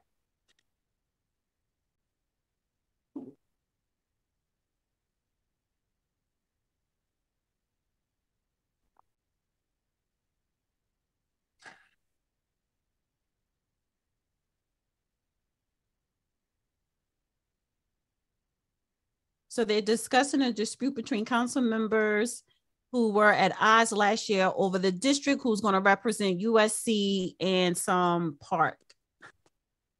So this is a clip Martinez recounting a conversation she had with a businessman, Danny. So getting back to Marqueece, I told Danny, if you want to cut a deal and if How did this jump? Oh. Oh no, it didn't jump. I'm sorry. What was the, how did the dispute come up? I didn't see that part. Clip. Okay. mm, So they were having a so the group was discussing a dispute between council members Curren Oh, I, I, I got that. USC and Exposition, who would represent USC in the Exposition Park? Okay. There's nobody there, so it's a big area and nobody hardly lives there. Okay. So getting back to Marqueece, I told Danny, if you want to cut a deal and if you want to, if, if you want to make like the boss moves, I would go after the airport. He goes, I know that idea. I said, tell Marqueece, So go don't take it from his friend. don't go. Don't go after, leave him alone. Go get the airport from his little brother, mm-hmm. that little bitch Bonin.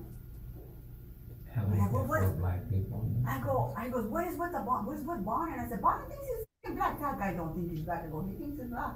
I told her the same thing. This kid is. He goes, why are they so close?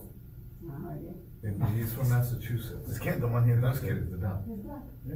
All these Latino Lo kids. trae así during Black History Month, lo lleva al, al council y lo pone acá en el, remember, lo trae, he lo, it's, like, it's an accessory. When we do, do the MLK parade, Just like, just like when, when. They used to have those statues When- in, Lo in, trae in, uh, así. plantations. Wait, didn't and they? then when Nori In the brings the, front. her Goyard bag or the, the, the Louis Vuitton bag, and places, eh, he trae pretends su, trae su, su negrito, like on the side, and su- Yeah. lo trae, ¿verdad? You sit next to it, you don't know the other side. For MLK, for the parade that Herb used to organize, and we, all the council who wanted to join Herb on the float, cause he used to do a whole float, to be nice. Bonin would be like, hey, Nury, are you going to the MLK? Well, Herb invited me, yeah, I'll, I'll go. Okay, I'm bringing whatever the kid's name is. I'm like, it's like the oddest thing. It's like black and brown on this float, and then there's these this white guy with this little black kid who's misbehaved. Este niño has no. He's. They're not even. Boundaries. Yeah, no, they're not doing. The kid is bouncing off the effing walls on the floor, practically tipping it over. There's nothing you can do to control him. Parece changuito. And I'm just like, oh my god. That's I'm what she over called here it, a monkey. This kid, I'm like, you can't do that. I said no. Well, he seems to be acting like one out of control, oh bouncing all over the float, about to tip it over. It's me and Karen Bass on the floor trying to check this little kid. me, Karen Bass, y la esposa de Marqueece, Carrie. And we're all looking at each other because we're the three women on the floor. Like, who's gonna? This kid's gonna tip us over because he's literally hanging on the rails. We can't let him, let him off, cause the, the, the spectators will beat his ass. Yeah. They're raising him like a little white kid, which I was like, this kid needs a beat down. Like, let me, let me take him around the corner and then I'll bring him back. Yeah. ¿Sí me entiendes? Ven para It's a acá. pinch. Ya. But he is, he's the fourth black. So anyways, getting back to redistricting. Yeah. All right. So then they went back So, to the what did she resign for? She resigned, but that doesn't. But she resigned from being a president. That don't mean she quit. So she probably still a councilwoman. But She shouldn't. She should stay on there. She just told the truth. Fools acting like a monkey and out of control. We talk about that all the time. Uh, white guy with a kid out of control. This one just happens to be a black kid. I mean, it's a thing that is going on in society. Uh, the parents don't control the children and it gets to be a mess. So, what was said wrong? calling nobody no monkey. I'm like this. If they Well, he may be a damn monkey the way he's acting. You know, calling a black child monkey or black people monkey, Why? that is offensive Oh, here in they need to get over that shit. Bottom line is, as hell, we used to, at least he wasn't talking about the kid's mama. Damn. We'd be talking about somebody's mama. And it ain't like that conversation is any worse than any other one a whole lot of people haven't had. So, I mean, what did they do wrong? All this sensitivity shit. Get rid of it and get down to real issues. Well, okay, so this is the real issue as well because she was also mocked. Um, it says Martinez also mocked Oaxacans, O A X A C A N S, Oaxacans or something, and said that effing. No, she said F that guy. He's with the blacks while speaking about Los Angeles County District Attorney George Gascon. Um, so she called the white little boy a monkey. She was mocking. Was a white kid or a black kid? She called. I mean, she called the black kid. The black kid. I guess he has a white father. Um, and I think he's gay because I think he adopted the black kid, but the kid is black. The father is white. And that's what she was like. They raising him like a white kid and called him. She called the black kid a monkey, the little black kid that was bouncing around on float, a monkey. Now she's also mocking a Mexican. Being raised by a gay white uh dad stand in. Okay, fine. All right. And she also mocked um a Mexican guy. Um, she they said Martinez also mocked uh Oaxacans, old Oaxacans or something, and said F that guy, he's with the blacks.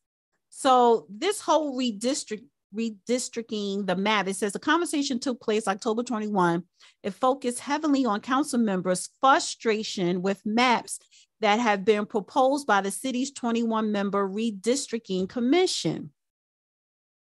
Um, so basically, there, I think the guys that was in the room with her set her up with that recording because I'm like, who put the recording in there? And then Who cares? I mean, she hadn't done anything wrong. but they're saying that you can't, but you can't record conversations in the state of California. That's a- Yeah, I mean, but she hasn't done anything wrong. What's the big bullshit about? Now she did apologize. She says, um, Why else you need to apologize? It was candid commentary on a subject that is needing commentary. You got these kids, control them. Nobody said it was because the kid was black. He happens to be black, adopted by a gay white dude. I mean, hell, and the kid's out of control. okay, so, but she I said, mean- she said, in a moment of intense frustration and anger, I let the situation get the best Oh, of me. Oh, she didn't need to explain. She just said he should get the trial under control. But she was And frustrated That's what she. at, right, What she was she- why does she need to no, no, no. explain it? listen, listen, she was frustrated about the redistricting, right? And I guess that child's parent is the one that they're trying to get on board to help them redistrict, I guess, in their favor. So she, yeah, she was just frustrated. Honestly, listening to it, I didn't find nothing wrong because we all have those conversations with colleagues about, damn, you see how bad they damn kid acted? A little Yeah, we have. Did you see that little punk ass kid over there acting a goddamn fool? Somebody needs to kick his ass. Uh, damn, what you got? A little ape came out the zoo, out the primate uh cage or something. Control that little fool. But this is my concern, not so much of her remarks, because I didn't, that didn't hurt my feelings or make me feel any kind of way. The same way Kanye remarks were not anti Semitic. This part here, the group discussed the city's once decade process of redrawing council district boundaries, which was underway at the time, as well as the need to re-elect Lat- Latino council members and ensure that the heavily Latino districts did not lose economic access, such as USC and the Van Nuys Airport. She also went on to say Barron's son was born into the conversation, um, blah, blah, blah, blah, blah, because the council members Price and Marqueece, who were at odds last year over whose district will represent USC and uh, Exposition Park once new maps were finalized. Both men are Black and represent parts of South Los Angeles. Um, I'm just trying to go down to the reason why she was upset. Um, Well, okay, she got worked up. Yeah, I mean, hell, it's a matter of politics ain't supposed to be about fun and games. People get impacted. It's real. It's just, I mean, the ultimate extension of the political process is war. That's uh, General Clausewitz. Mm-hmm. I think the book is called Vom Krieg on war. He was observing uh, what his experiences were about during the Napoleonic Wars and observing the phenomenon of Napoleon in Europe. So, hey, if you can extend on to killing folk behind it, so can you with language. So okay, so she also so it says Martinez said that the area was in a council district 10 which was Ridley Thomas District. Martinez then noted that Raman wants a play for K Town, that's Koreatown, um, but said that would not happen because she didn't want beef with Ridley Thomas. Later in the conversation, a group talked about Koreatown, a largely Latino neighborhood, should be handled in redistricting, right? So it's all about this redistricting thing. Um, she said she also went on to say that the group then questioned whether Chateau Place, a small street in Lafayette Park, are in Koreatown. Quote, I see a lot of little short dark people, end quote, Martinez said of that section of Koreatown, employing stereotypes long used against the um, Oya axe, axe cans in Mexico and in the United States. She goes to say, I was like, I don't know where these people are from. I don't know what village they come from. They how they got here. Um Yeah, my fourth grade teacher, Mrs. Rodriguez, when I was in Budlong Avenue Elementary School, used to talk about that too. And she wasn't exactly nice about it. Mestizos and mulattos and all of the rest of it. And she and her husband were Hispania, you know, um, Yeah, so Blanco and all of this other mess. So, I mean, you know. I mean, my point is that so they're basically were just talking about how they going to how can they redistrict these parts of the city that's going to benefit them to be in power and Latinos having a voice and making sure That's that what the hell it's about, baby. What's the problem? Oh, that- That's reality. Right. But it's so funny now that all of a sudden this recording comes up two years later. We're in election season. You know, she's resigning. It's messy. You I got- don't see what the hell she should resign for off of that. There's nothing about that needs to resign. It's just candid comment. And If you a punk ass can't handle it, then fuck you. You know, go get grow up. Not you, I mean them. Mhm. And then look, the kid's a monkey now. What's he supposed to be in 10 years? Punk ass fool? You know, hey, Well, if he isn't under control now, just to spoil Brad punk. They've got enough of them running around in the first place. Somebody should have been talking about their crazy little young asses before they grew up to be big stupid asses. Now, just a little bit more backlash she did receive. This is from the National Assembly of American Slavery Descendants of Los Angeles. Oh, fuck them. The man resignation of Los Angeles City Council members. So They the- need to do something about the situation in what used to be South Central LA and getting that shit together so people have a decent lifestyle to deal with and make it peaceful and deal with their business instead of worrying about crap like this. Well,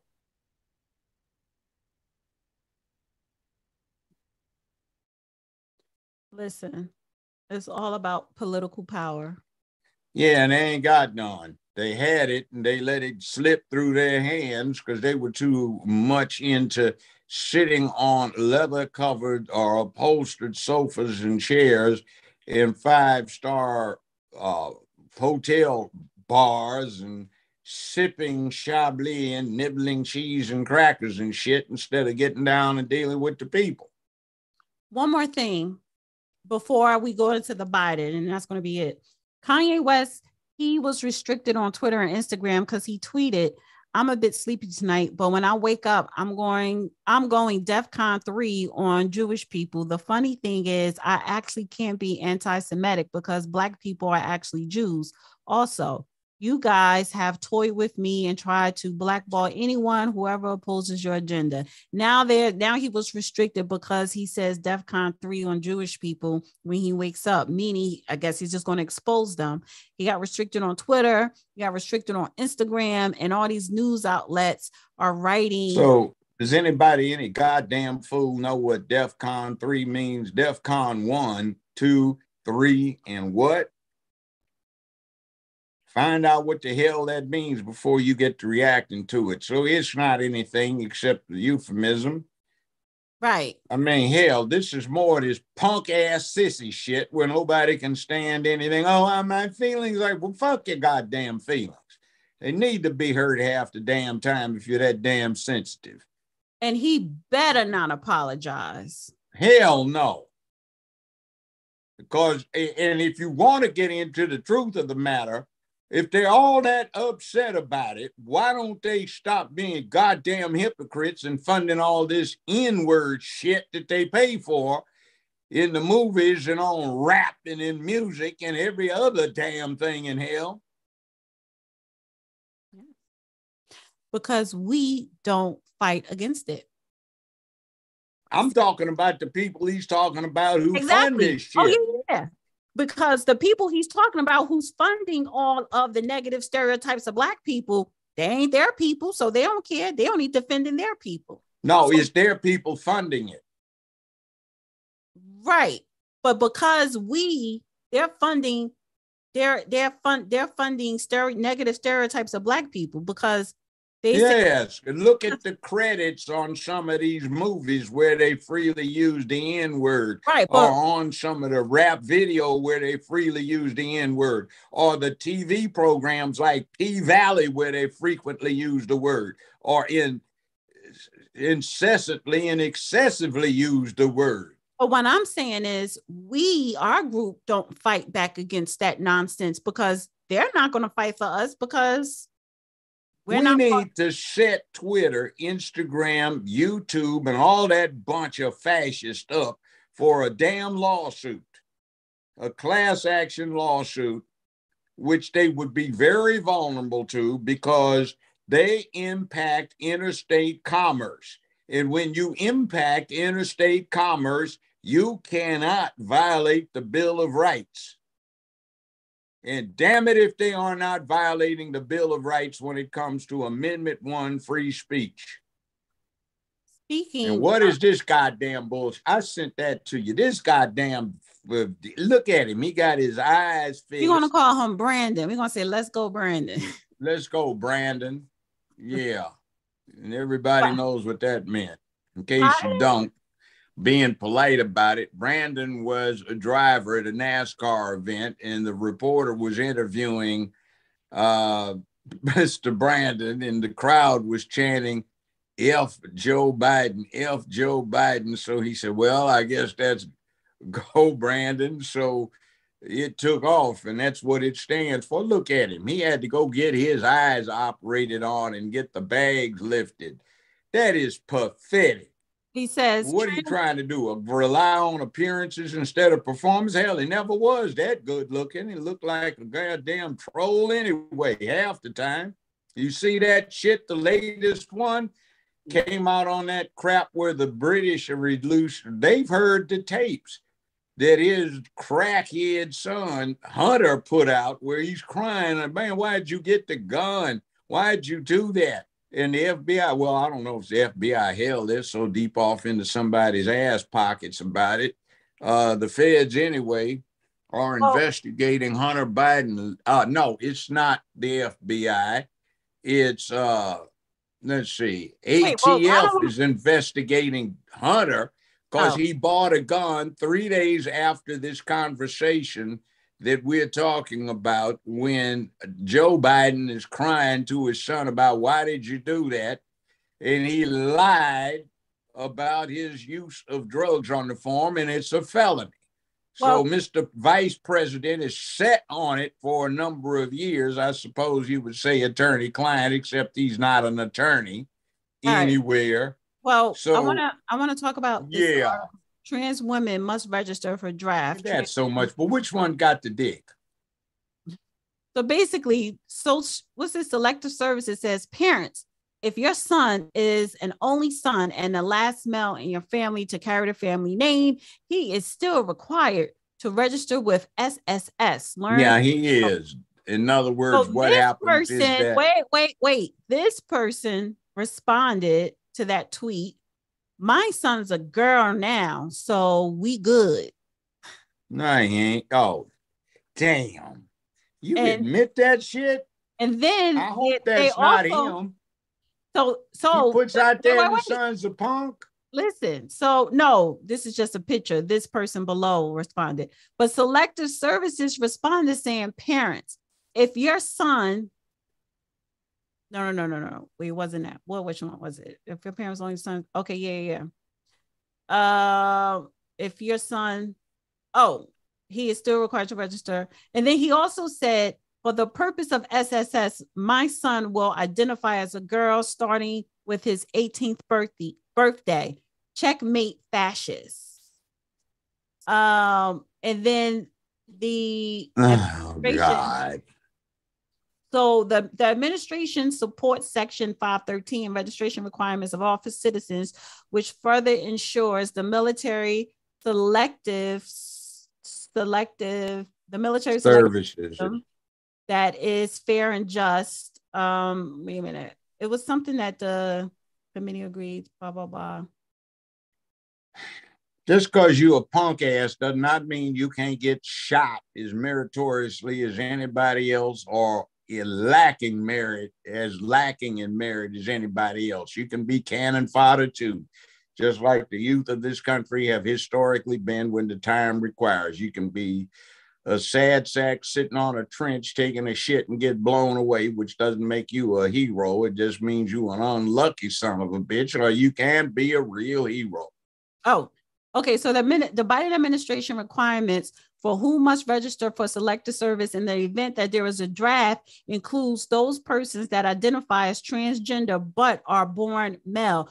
Almost all male U.S. citizens and male immigrants who are 18 through 25 are required to register with selective services. Quote, U.S. citizens or immigrants who are born male and change their gender to female are still required to register. Individuals who are born female and change their gender to male are not required to register, reads the guidance of requirements from the selective service system. Because the selective service, which is interested in people who are going to be put out there for military purposes and who are liable to die, it doesn't give a good goddamn, and that's appropriate.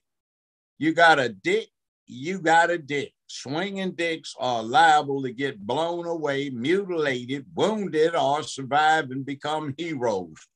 now, That is the reality. Oh, so So it does not make any difference if some fool decides to be spayed or neutered by going to whatever veterinarian service they go to.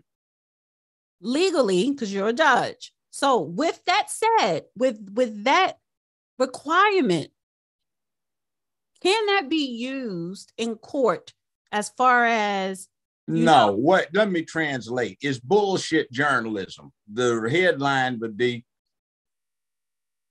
Selective Service confirms traditional gender and sexual realities. That should have been the headline, not that bullshit you because what it's saying is what they're saying there. is just because you say you are a woman, if you are born with a penis, you are still classified as a man. Oh, uh, some fool with a delusion. I, what the hell does that have to do with reality?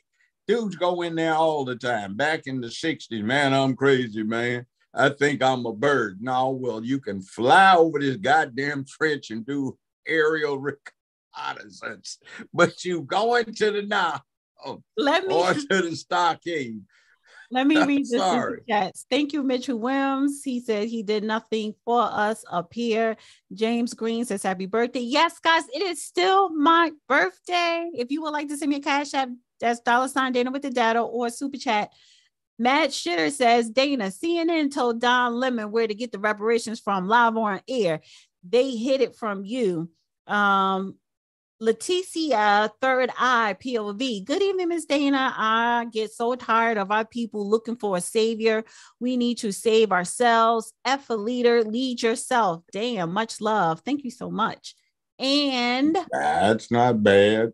Mhm. Matt Shitter, I'm not HB2N, so I told you and you and George went left about who has to do what. A few days ago, Steven Crowder said it. Call me. Who's Steven Crowder? I have no idea.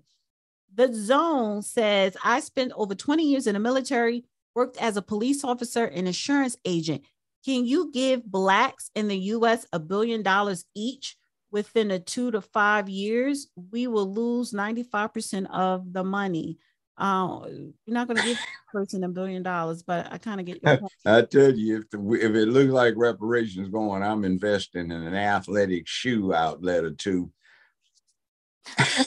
So if you get if you get your reparations check, um, no, I said if it looks like reparations checks are going to be on the horizon, I am going to get some athletic shoe outlets so I can get the money Um, from the people that get the checks. Grandel Wims, but you know, Grandel Wims says, "Keep up the good work, Dana. Thank you so much." So yeah, that's basically my show tonight. Um, oh man, but I yeah, because I want you to come in to comment on the councilwoman and of course Joe Biden. Um, I did, didn't I? forget- yeah, and then you also commented on Kanye because that was like the meat of the show. Remember, I brought up the woman. Maybe you want to comment on this. The one I sent you that article yesterday, um, with the woman saying that black men are toxic. Um, Yeah, goddamn fool. She like to eat twat, don't like dick. So anyway, what else is new?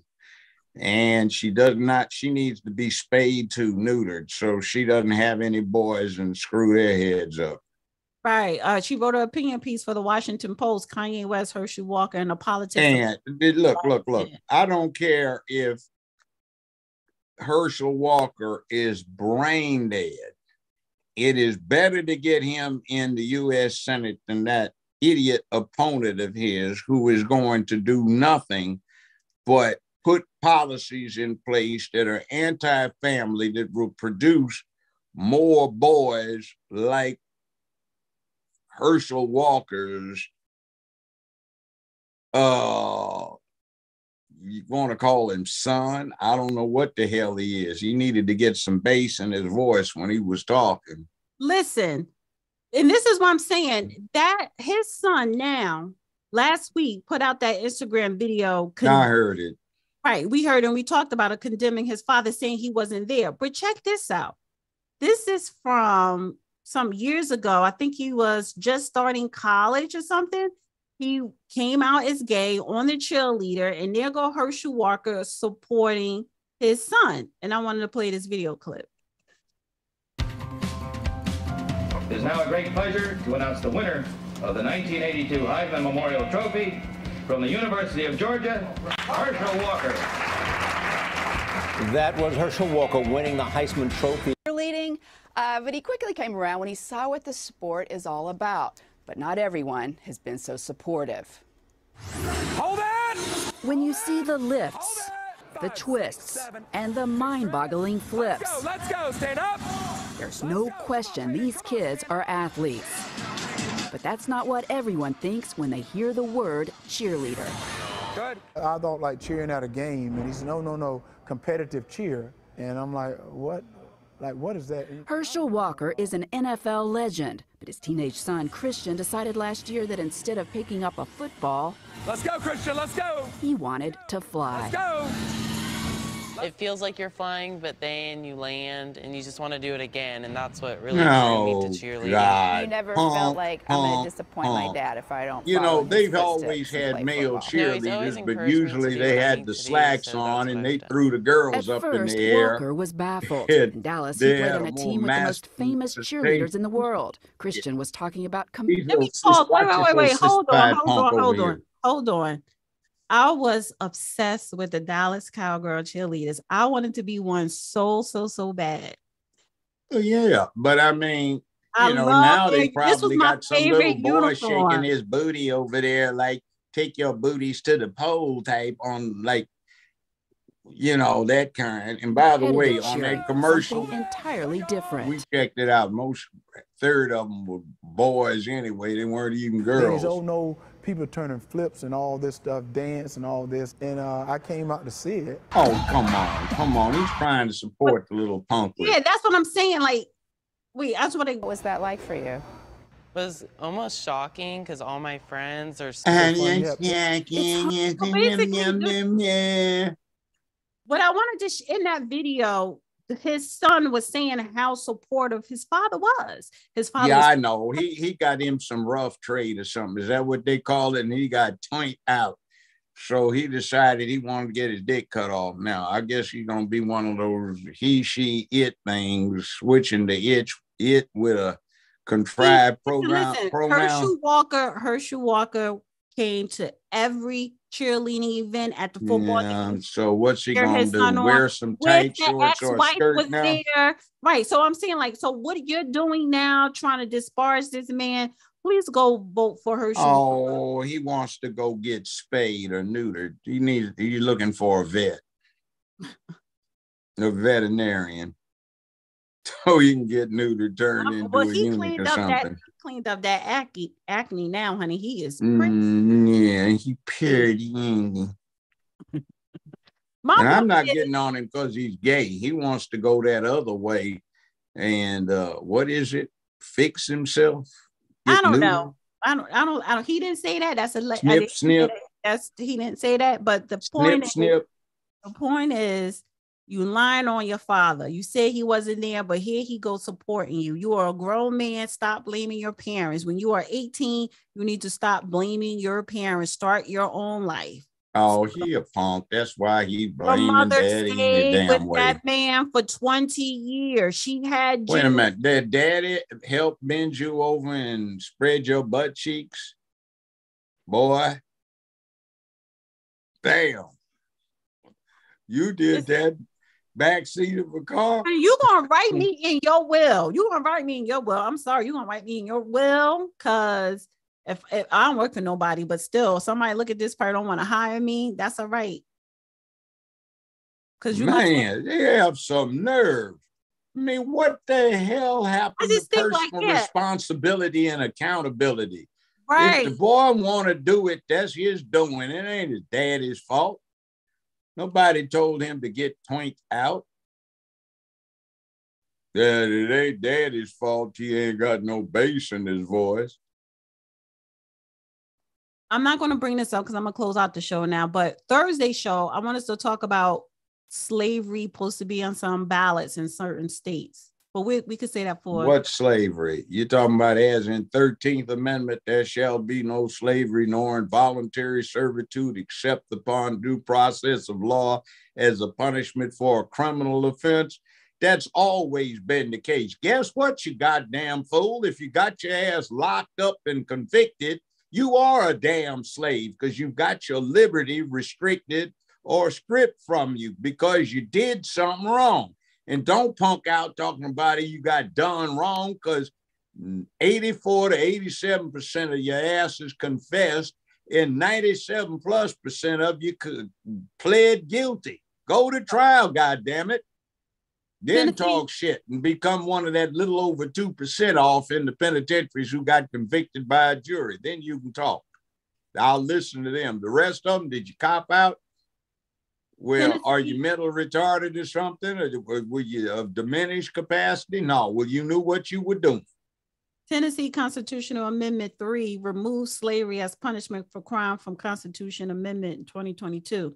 Oh bullshit! That ain't going. to that's my state. That's going nowhere in hell because it won't match the U.S. Constitution. So you're gonna vote Now, You in other oppose- words, you want to oppose in other words, the language? In other words, what the goddamn problem is, is there is not anything in the Tennessee criminal laws that says you can be enslaved as a punishment for a criminal offense. That's some grandstanding by some ignorant, either backwoods folk or stuck down in the hood folk that don't know shit about what they're talking about. So you're gonna oppose amending the state constitution to remove It doesn't have shit in there to say about it. Involuntary servitude as criminal It doesn't have it in the Tennessee laws about a punishment for a criminal offense. The Thirteenth Amendment Yeah, the 13th says, Amendment. The 13th yeah, the Thirteenth Amendment says you can. It doesn't say you have to. So Is there's there a nothing in the Tennessee law that deals with it. But what it does do, God damn it, is for all of these goddamn filthy highways and roadways, dirty ass parking lots, vacant lots filled with trash. Now the judges can't order a son of a bitch on community service to go out and clean the goddamn thing up. Stupid assholes. So do you think this is a way for people for these officials to try and change the amendment? Hell no, that is grandstanding. Community service is labor, involuntary labor, if you have to do it. So, God damn it, I guess the thing of it is, is send the son of a bitches to jail rather than having them do community service. Because involuntary labor is, guess what? A version in some kind of ways of slavery. So now these stupid shits have taken away community service.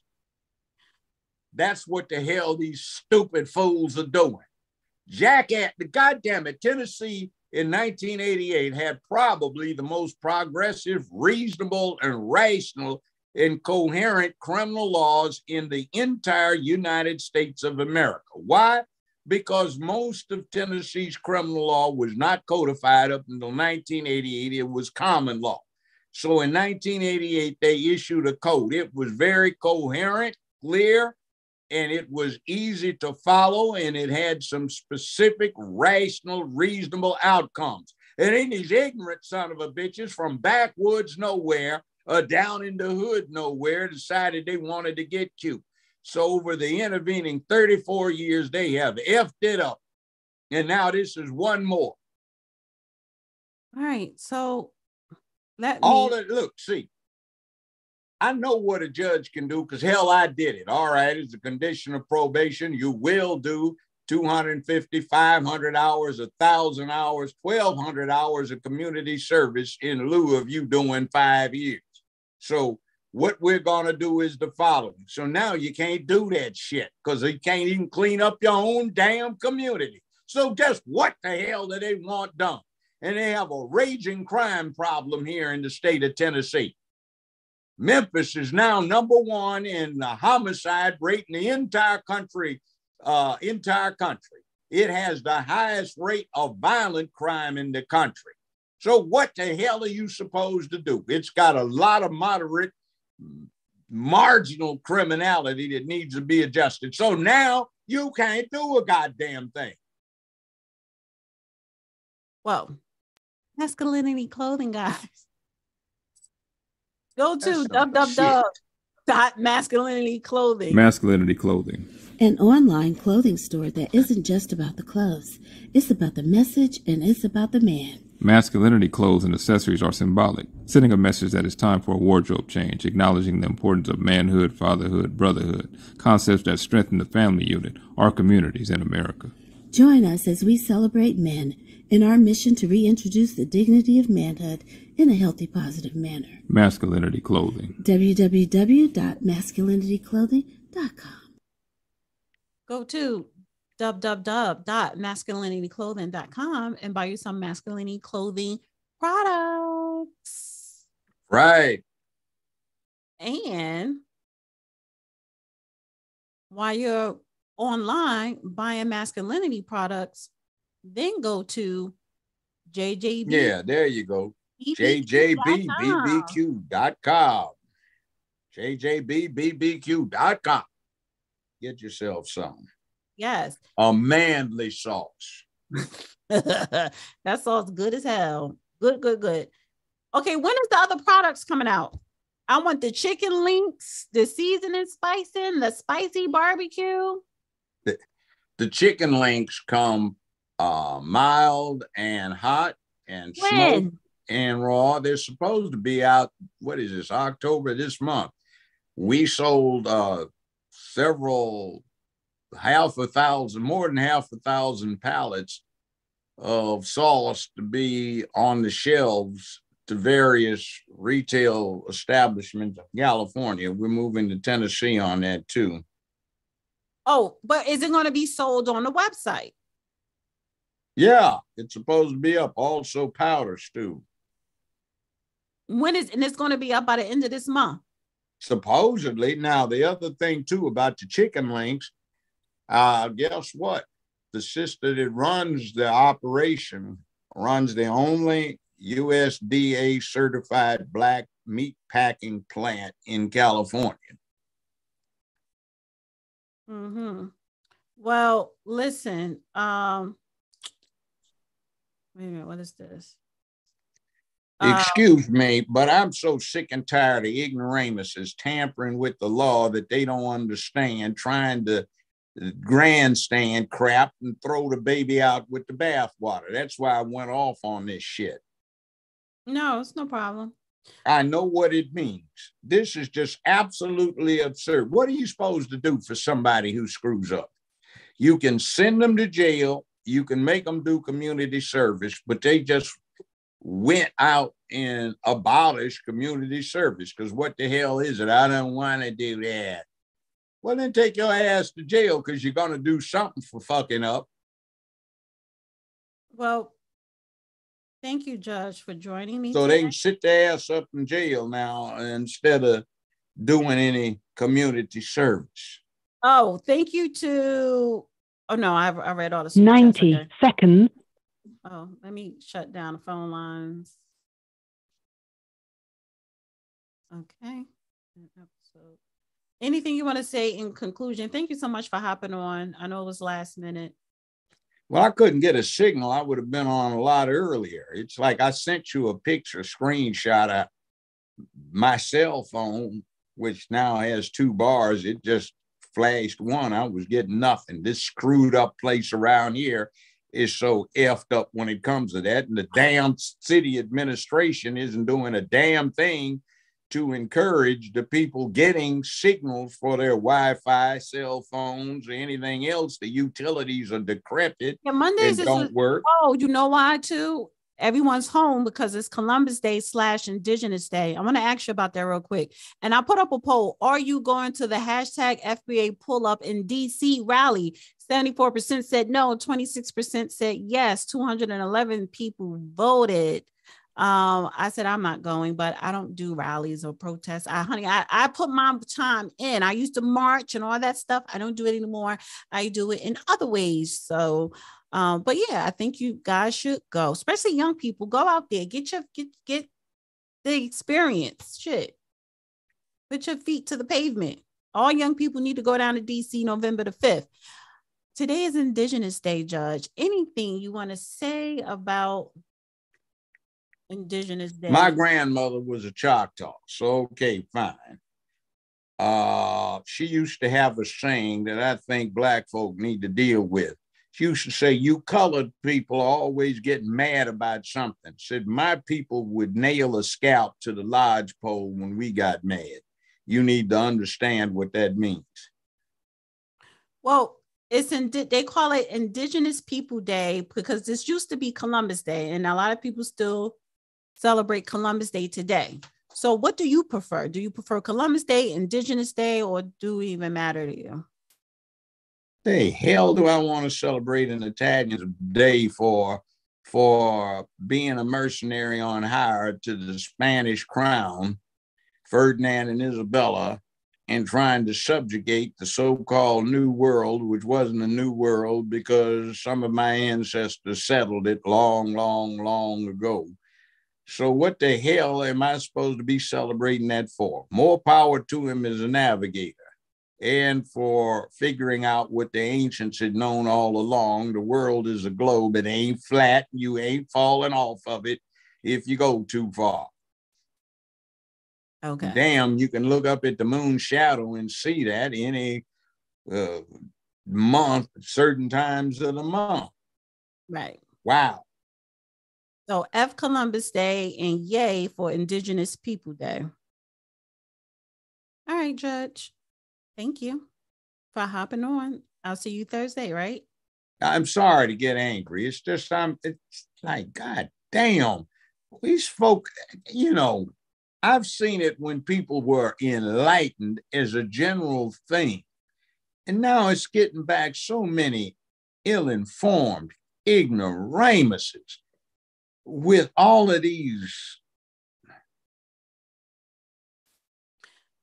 a lot of people are just not educated and a lot of people are more followers than leaders and leading themselves and you know just well that bothers me that the educational quotient is so much less now than it was half century It's- ago. not That so- is embarrassing. It's, it's it's not so much the school education but parents are not educating their children properly because they're not educated. I've been I've over the last 50 years, I've been the elementary, junior high, or mid uh, schools, uh, middle schools, and high schools over and over again. They are not teaching what they used to, and it's not done vigorously. And a lot of them have ignorantly uh, banished homework for goodness sakes. Like you're throughout your life, you're just gonna go la di da, you know, you never have anything to do outside work. Well, I guess you will be just a salaried employee working on a production line and you'll do nothing to better yourself so you can move up.